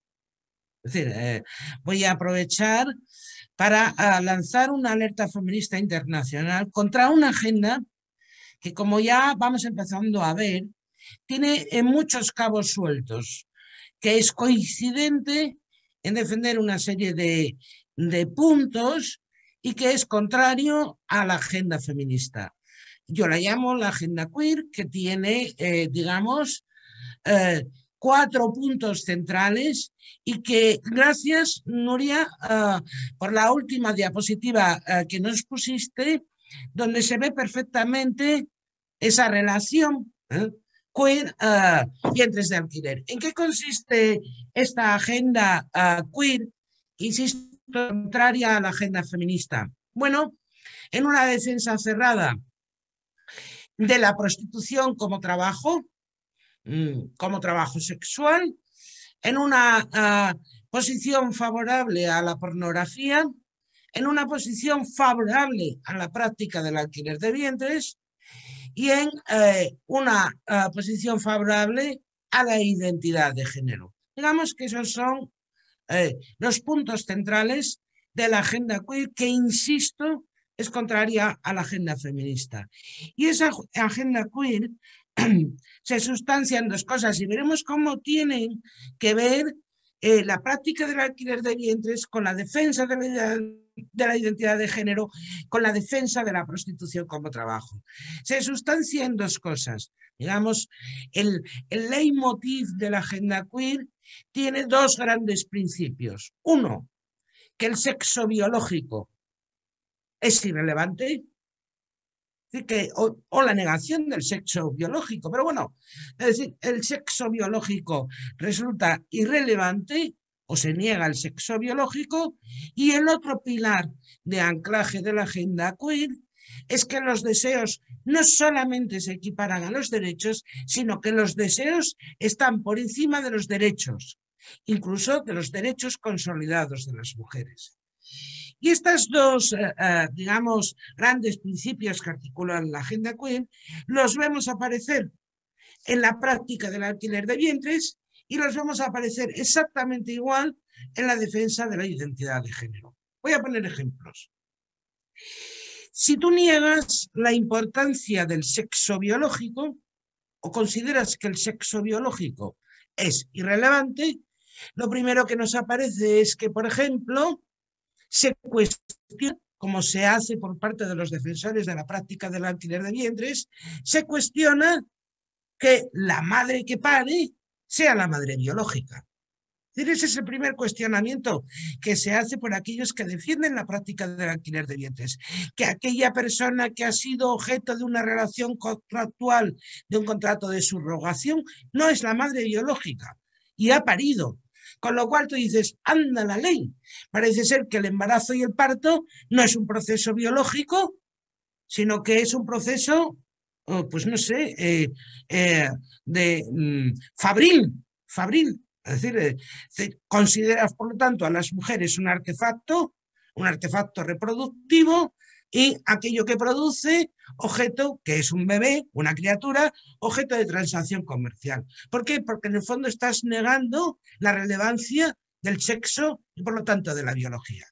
Que es lo mismo que se hace mutatis mutandis, ¿eh? en esa negación del sexo biológico, es lo mismo que se hace en la defensa ultranza de eh, la identidad, la identidad de género. La identidad de género lo que viene a decir y hacer es, son mis creencias sobre el género lo que determinan el sexo de las personas. Pero más aún, en, esta agenda queer, que es, insisto, contraria a la agenda feminista, lo que vemos aparecer, que aparece perfectamente eh, podemos darnos cuenta de ello tanto por aquellos que defienden la práctica del alquiler de vientres como la identidad de género, el que el cuerpo de las mujeres se convierte en el gran campo de batalla. El cuerpo de las mujeres se convierte en el gran campo de batalla por el cual puede ser expropiado, expropiado para, satisfacer las necesidades sexuales y reproductivas de tercero y por otro lado, el cuerpo de las mujeres se convierte en el gran campo de batalla cuando es cuestionado y aparecen polémicas estériles sobre quién es mujer, más mujer o qué significa ser mujer. Vamos, es una gran cuestión metafísica, pero las feministas como feministas, realmente la metafísica nos interesa muy poco. Entonces, eh, lo que quiero es que vayamos uh, hilvanando realmente eh, cómo se producen, cómo se producen las cosas. Bien, el deseo. Eso por lo que afecta a la biología, el cuerpo de las mujeres, el gran campo de batalla, objeto de expropiación o objeto de dudas sobre, eh, eh, sobre el cuestionamiento de la categoría mujeres. Y si además tú pones el énfasis en la subjetividad individual, en la voluntad y en los deseos, lo que estás haciendo es realmente no equiparar deseos a derechos. No, no, es que estás poniendo por encima los deseos de los individuos sobre los derechos consolidados de las mujeres.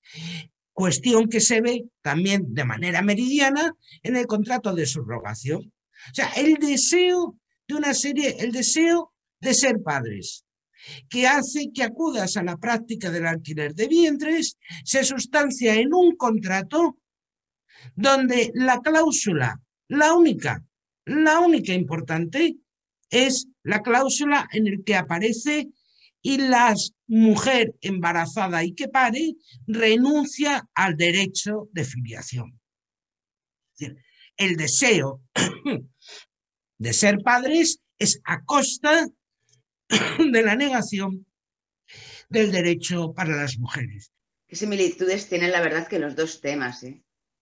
Tema ley trans y tema vientres alquiler.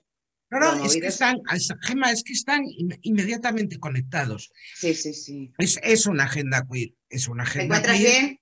Sí, sí, a ver, si es que todo, sí, sí, es una agenda queer que se sustancia en los puntos que, en los puntos que he dicho. y que lo vamos a ver aparecer todavía muchísimo más y, de manera más fuerte. De ahí mi petición de alerta feminista eh, internacional contra la agenda queer. ¿Vale? Lo que estaba es en los deseos, o sea, cómo los deseos se conjugan de tal manera que la invocación de la mera subjetividad deseante implica la anulación de derechos consolidados de las mujeres. Y eso se ve también en lo que es eh, la agenda queer y la defensa de la identidad de género.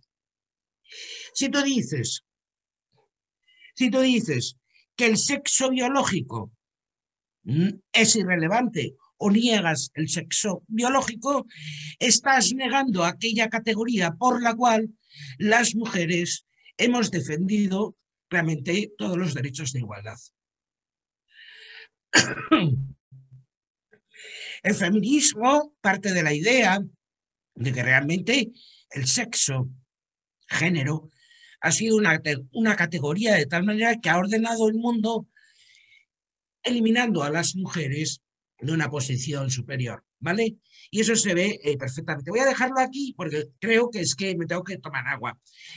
Bien, mm, pero yo creo que eh, eh, lo que quería poner de relieve que es esa agenda contraria al feminismo ha quedado medianamente clara. Así que me gustaría acabar con una serie de eslóganes. No somos vasijas, no somos género sentido, somos mujeres feministas y tenemos una gran tarea por delante. Alicia, ha quedado clarísimo, meridianamente no, clarísimo, clarísimo ha quedado muy claro. Y ahora vamos con Ángeles Álvarez, miembro también de No Somos Vasijas y de la RECAD. Ángeles, bienvenida Ángeles. Vale, muchas gracias. No sé si estoy compartiendo ya pantalla, creo que sí. Sí, sí.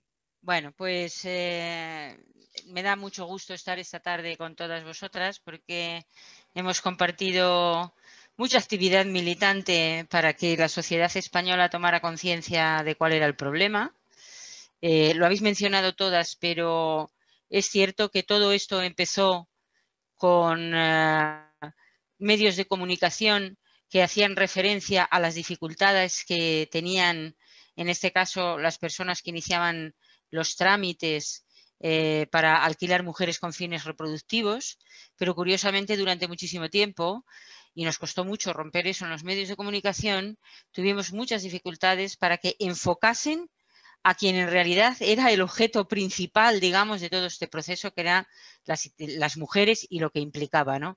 Es eh, muy tarde, eh, se ha dicho prácticamente todo, pero sí me importa ah, dar tres apuntes y algunos datos, porque mm, también os quiero contar alguna experiencia personal de las dificultades que incluso desde el Congreso de los Diputados hemos tenido para acceder a información referida a esta cuestión.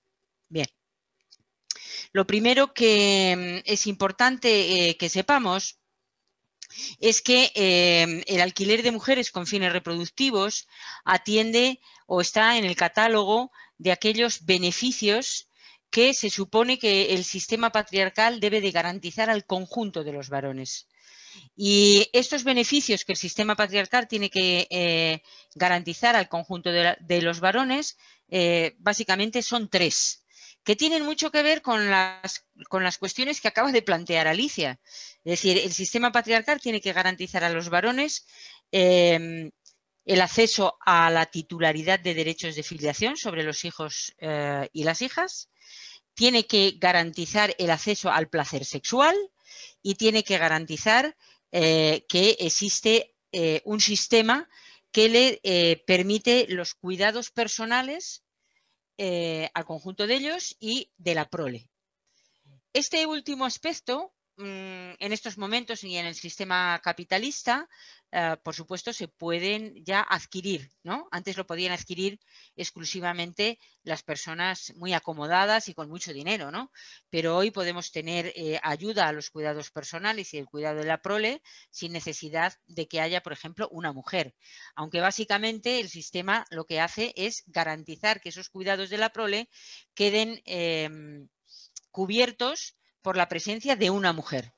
Una mujer que puede ser tu esposa o que puede ser una persona que contratas. Eh, con relación a la prostitución, pues os conocéis perfectamente el debate y conocéis perfectamente también la frase de Victoria Sau, eh, que yo cito muchísimo y no me cansaré de hacerlo, en el sentido de que cuando hablamos de la prostitución, de lo que estamos hablando es de cómo el sistema eh, hace un reparto de las mujeres bajo la premisa de una para cada uno y unas cuantas para todos, pero el unas cuantas para todos es lo que garantiza que todos tengan acceso al placer sexual. Y ahora tenemos un, último, un último modelo que tiene que ver con el acceso a la titularidad de derechos de filiación sobre los hijos. Sobre los hijos que sea, aunque no sean sus hijos. Bien, y en este marco aparecen las cuestiones vinculadas al alquiler de vientres.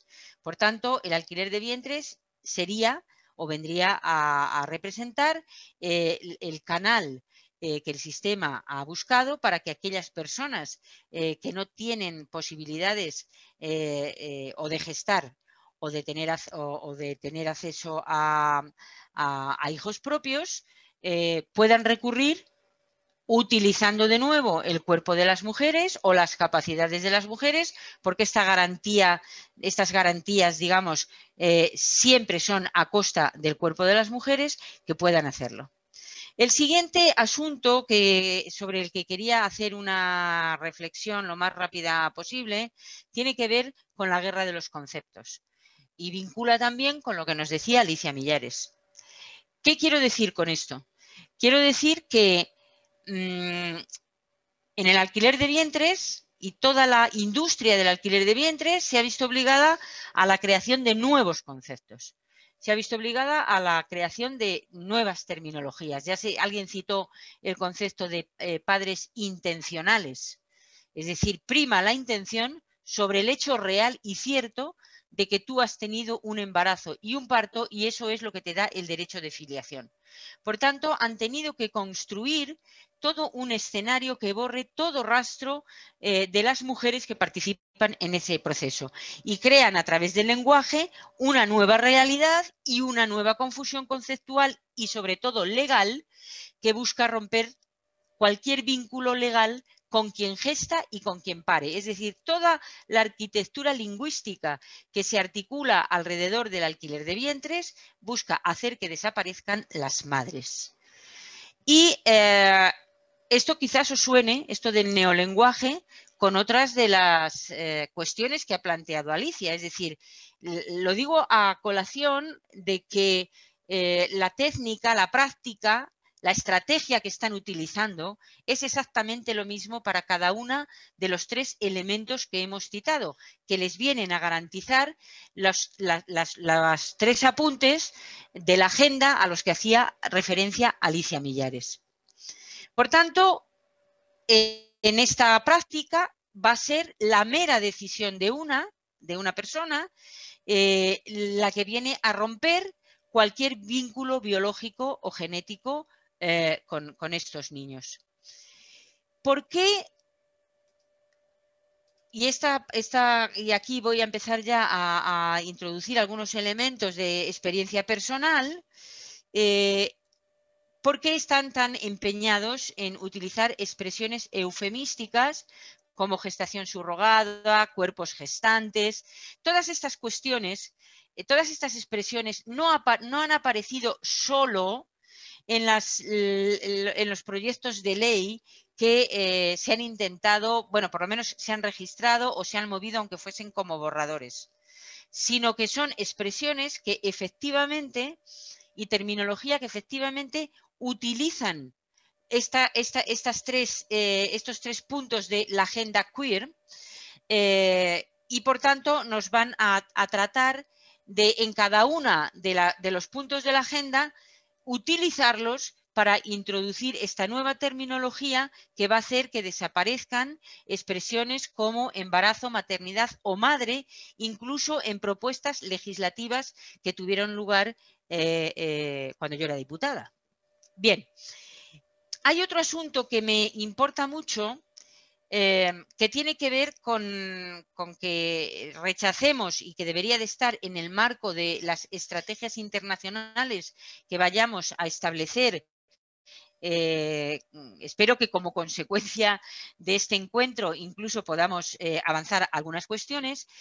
lo otro tiene que ver precisamente con una cuestión terminológica también, pero que sí que está ya aceptada legalmente, ¿no? Y es el hecho de introducir como técnica de reproducción humana lo que no es una técnica de reproducción humana, porque en el alquiler de vientres se utilizan técnicas de reproducción asistida, pero en el momento en el que em, eh, se, sustancia el embarazo, a partir de ese momento aquí no hay ninguna técnica, aquí lo que hay es un ser humano gestando otro ser humano para otro ser humano con el que eh, puede tener o no relación biológica. ¿De acuerdo? Esa relación biológica que tratan eh, permanentemente de em, hacer desaparecer de todos los contratos, em, no hemos hecho reflexiones suficientes sobre cómo la futura madre aunque no tenga, eh, no haya hecho aporte de material genético, eh, el hecho del propio embarazo y de todo el proceso que se genera durante todo el embarazo es capaz de modificar la genética de su futuro hijo cuando el óvulo es incluso de otra mujer, como sucede en los casos de las ovodonaciones. Y esto está siendo ya estudiado, pero ya tenemos mucha información al respecto. La propia fundación del Instituto Valenciano de Infertilidad, que está muy metido en esto, eh, ahora ya es más difícil encontrarlo, pero publicó un trabajo en el que quedaba demostrado que em, en la historia genética la comunicación entre gestante y embrión es suficiente para modificar el genoma del futuro bebé. Y este es un asunto sobre el que yo creo que Phoebe no va a seguir investigando porque es información que va en contra de su propio negocio, pero eh, a nosotras debería de sernos una información de muchísimo interés. Quiero citar particularmente a dos, eh, a dos eh, investigadores, a Felipe Vilella y Carlos Simón, que fueron quienes estuvieron en este, en este trabajo. Muy interesante, por tanto, que tengamos en cuenta esta cuestión. Esta gente eh, eh, nos viene a decir que lo que sucede en el útero materno es más importante que lo que sucede en la casa tras el nacimiento y que no despreciemos, por tanto, qué es lo que está ocurriendo en esta materia. Este estudio demuestra por primera vez en la historia de la genética algo que ya propuso eh, Barker en 1990 cuando dijo que eh, precisamente esta frase, ¿no? que lo que sucede en el, útero materno es más importante. La comunicación, en definitiva, entre gestante y embrión, dando lugar a modificaciones en el genoma. Eh, la otra cuestión que me parece importante Mm, que veamos es eh, cuál ha sido el proceso, porque desde que se empiezan las prácticas eh, de, alquiler de vientres, em, todo ha ido cambiando en función de esta idea que yo quiero que tengáis siempre en la cabeza, ¿no? Y es que para que se produzca eh, el nacimiento de un bebé, se tienen que producir previamente otras cosas, ¿no? Dice, ¿qué es lo que tiene que ocurrir? Bueno, pues para tener hijos lo que tiene que ocurrir es que hay que concebirlos, hay que gestarlos y hay que parirlos. Y las mujeres participan en las tres fases del proceso, mientras que los varones tan solo pueden eh, participar en la concepción, es decir, en una de las partes del proceso. Sin embargo, en estos momentos, una de las estrategias que están eh, tratando de avanzar es que efectivamente las dos primeras partes, las dos últimas partes de este proceso, en las que son de participación exclusiva de las mujeres, sean ninguneadas frente a solo la concepción en lo que tiene que ver con los procesos de registro de los menores.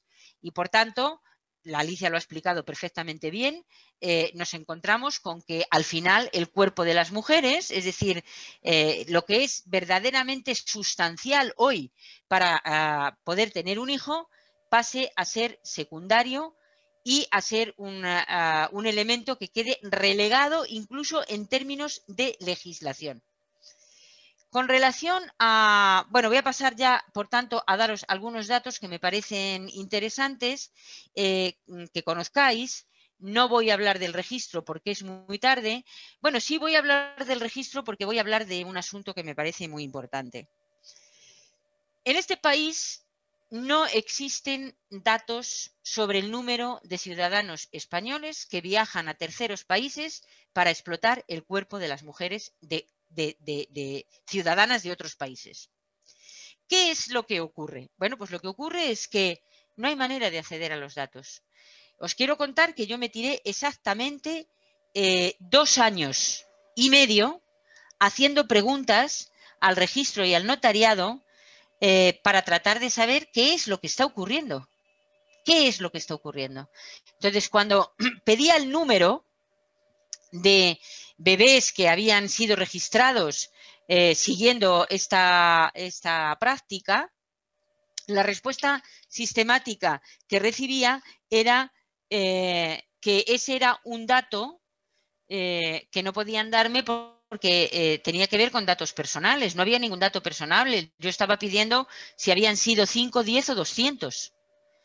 Pero de manera sistemática la respuesta del registro fue esta y, sin embargo, terminé consiguiendo los datos por la vía de hacer la pregunta no al registro, que nunca llegó a darme ningún dato, salvo cuando pedimos una eh, comparecencia parlamentaria del máximo responsable del registro.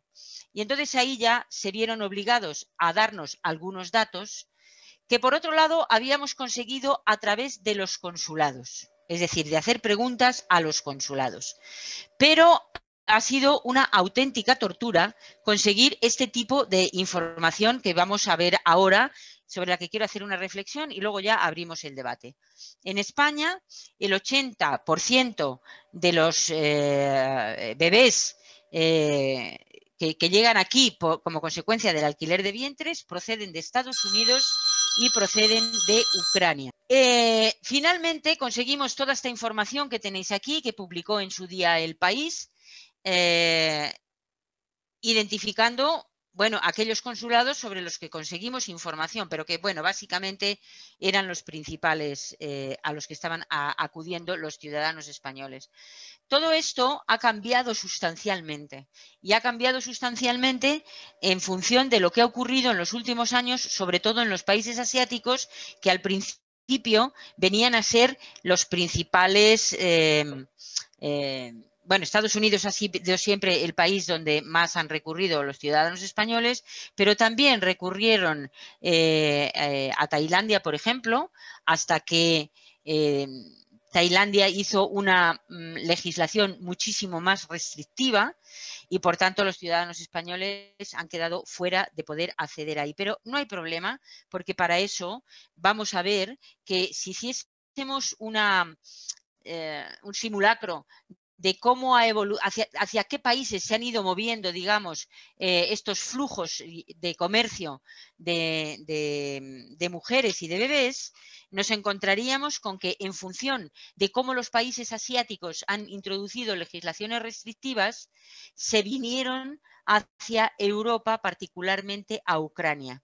Os recomiendo que entréis a ver un documental eh, de Antena 3 en el programa de Espejo Público, porque visitaron las clínicas de Ucrania y verdaderamente creo que lo estamos moviendo muy poquito ese documental porque es un auténtico escándalo. Es decir, las informaciones que ahí se dan son eh, absolutamente escandalosas. Bien, lo podéis encontrar en Internet. Y luego me importa mucho que veamos todos estos datos con eh, el país donde el país y el Estado porque Estados Unidos, en realidad, cuando dicen en Estados Unidos está legislado, es, es legal, no es cierto. Es legal en un número minoritario de estados de Estados Unidos. Por supuesto, la información más reseñable para mí, de la que conseguimos, tiene que ver con los expedientes que se tramitaron en el Registro Civil Consular de Los Ángeles, porque ahí sí tuvimos información de lo que pasaba antes de la instrucción del registro y después de la instrucción del registro. Y antes de la instrucción del registro, del Consulado de Los Ángeles se solicitaron ocho inscripciones. Ocho. Mientras que cuando se aprobó la instrucción del registro, en un periodo breve de tiempo, el aumento fue verdaderamente escandaloso. Por tanto, la instrucción del 2010 efectivamente ha venido eh, abrir la puerta a este comercio también para ciudadanos españoles. El caso de México, por dar algún dato de los que me fueron facilitados entonces, es muy interesante porque cursa no tanto con la legislación mexicana, sino con el hecho de que no les comenzaba a no serles rentable. Es decir, las empresas españolas, sobre todo una ah, ubicada en la ciudad de Barcelona, que se llamaba Surrogalia, que ahora mismo ya no está eh, operando, pero que tuvo muchísimos problemas, ha tenido denuncias de todo tipo por parte de eh, las personas eh, que contrataron con ellos, etcétera, era el es decir, esta empresa eh, eh, operaba exclusivamente con México. A partir de las denuncias, etcétera, pues las operaciones en México bajaron sustancialmente. Y eh, lo mismo nos pasa en el caso de India. Con India ahora los, los han bajado sustancialmente. Bien, voy, si me permitís un momento, a dejar de compartir, si soy capaz, aquí, vale. Ok, gracias porque eh, sí me gustaría hacer alguna otra reflexión. Dice, ¿qué otra reflexión? Pues la otra reflexión es enviaros a la página web de eh, noalquilesvientres.org. ¿Por qué? Porque eh, ahí vais a encontrar, aparte de muchísima documentación, bien, de todas las cosas que os vais a encontrar ahí, donde está, por ejemplo, el histórico de las manifestaciones que se hicieron en su día, etcétera, en fin, documentación de interés, noticias, pero me importa mucho sacar eh, a colación también el documento que se presentó por parte de eh, distintas organizaciones españolas de cara a las elecciones generales. Y me importa mucho que lo veáis porque eh, quiero hacer una última reflexión sobre lo que se ha comprometido y lo que exigíamos. Nosotros exigíamos la anulación de la instrucción. sin la anulación de la instrucción, todo seguirá igual. Y se nos están dando largas, mi opinión, ah, porque se está buscando crear una masa crítica suficiente para que eh, en, España haya un número de familias que eh, se conviertan en activistas a favor de esto. Punto número uno. Lo segundo que pedíamos era una modificación de la ley de técnicas de reproducción humana asistida, porque siendo, siendo cierto que necesitamos eh, una modificación, que introduzca elementos eh, sancionadores para aquellas personas que incumplan. Y la tercera tenía que ver precisamente con el tema de las agencias, las agencias, que es un punto que el gobierno de coalición ha eh, recogido entre los acuerdos, ¿no? Y sobre lo que sí quiero plantear un asunto y con esto termino. Verdaderamente, Nuria se preguntaba antes que, bueno, estamos hablando, haciendo referencia a este punto para que lo tengáis claro, ¿de acuerdo? Em, Nuria se planteaba antes el tema de las agencias, de cómo hacen los pagos fiscales, quiénes son en definitiva. La mayoría de las agencias, eh, o por lo menos las primeras que se comienzan a montar eh, aquí, tienen que ver fundamentalmente con personas que iniciaron estos trámites en terceros países y que, eh, dadas las dificultades que estaban, em, sufrieron o padecieron o, en fin, tuvieron que asumir para llegar a, ese proyecto, em, lo que hacen es constituir empresas que facilitan todas las tramitaciones internacionales que ellos aprendieron a hacer en su proceso. Este es el, este principio. Después ya han ido entrando em, despachos de abogados, eh, yo creo que hay clínicas que están ya participando de esto de manera abierta en este país. No digo de hacer aquí el proceso, sino de hacer la intermediación, ¿vale? Ah, y, en todo caso, lo que sí están es muy activas las clínicas en dar conferencias en el ámbito de las universidades y en todos los sitios que pueden eh, para, eh, en defensa de esto. Por tanto, hay un vínculo directo y yo creo que una vocación clara de eh, ampliar su negocio por este canal. ¿no? Y finalmente, mm, yo, si me pedís mi opinión y si no me la pedís, os la voy a dar igual, creo que es muy difícil que se pueda llevar a término el poner limitaciones a la intermediación. Porque las agencias no existen. Es decir, yo tengo una respuesta parlamentaria de la época del Partido Popular en la que le hacía una pregunta al gobierno diciéndole que eh, en qué epígrafe cotizaban estas personas, ¿no? Y la respuesta del gobierno fue que bajo ninguno, porque está prohibida, por tanto, esas, esas empresas no pueden existir en España. No tenía cabida, cuando sabemos que sí que existen, ¿vale? No necesitan estar bajo ningún epígrafe porque son agencias de viajes, son abogados y tú, el intermediario, que lo que hace es que articula todo, pero sí es cierto que cobra.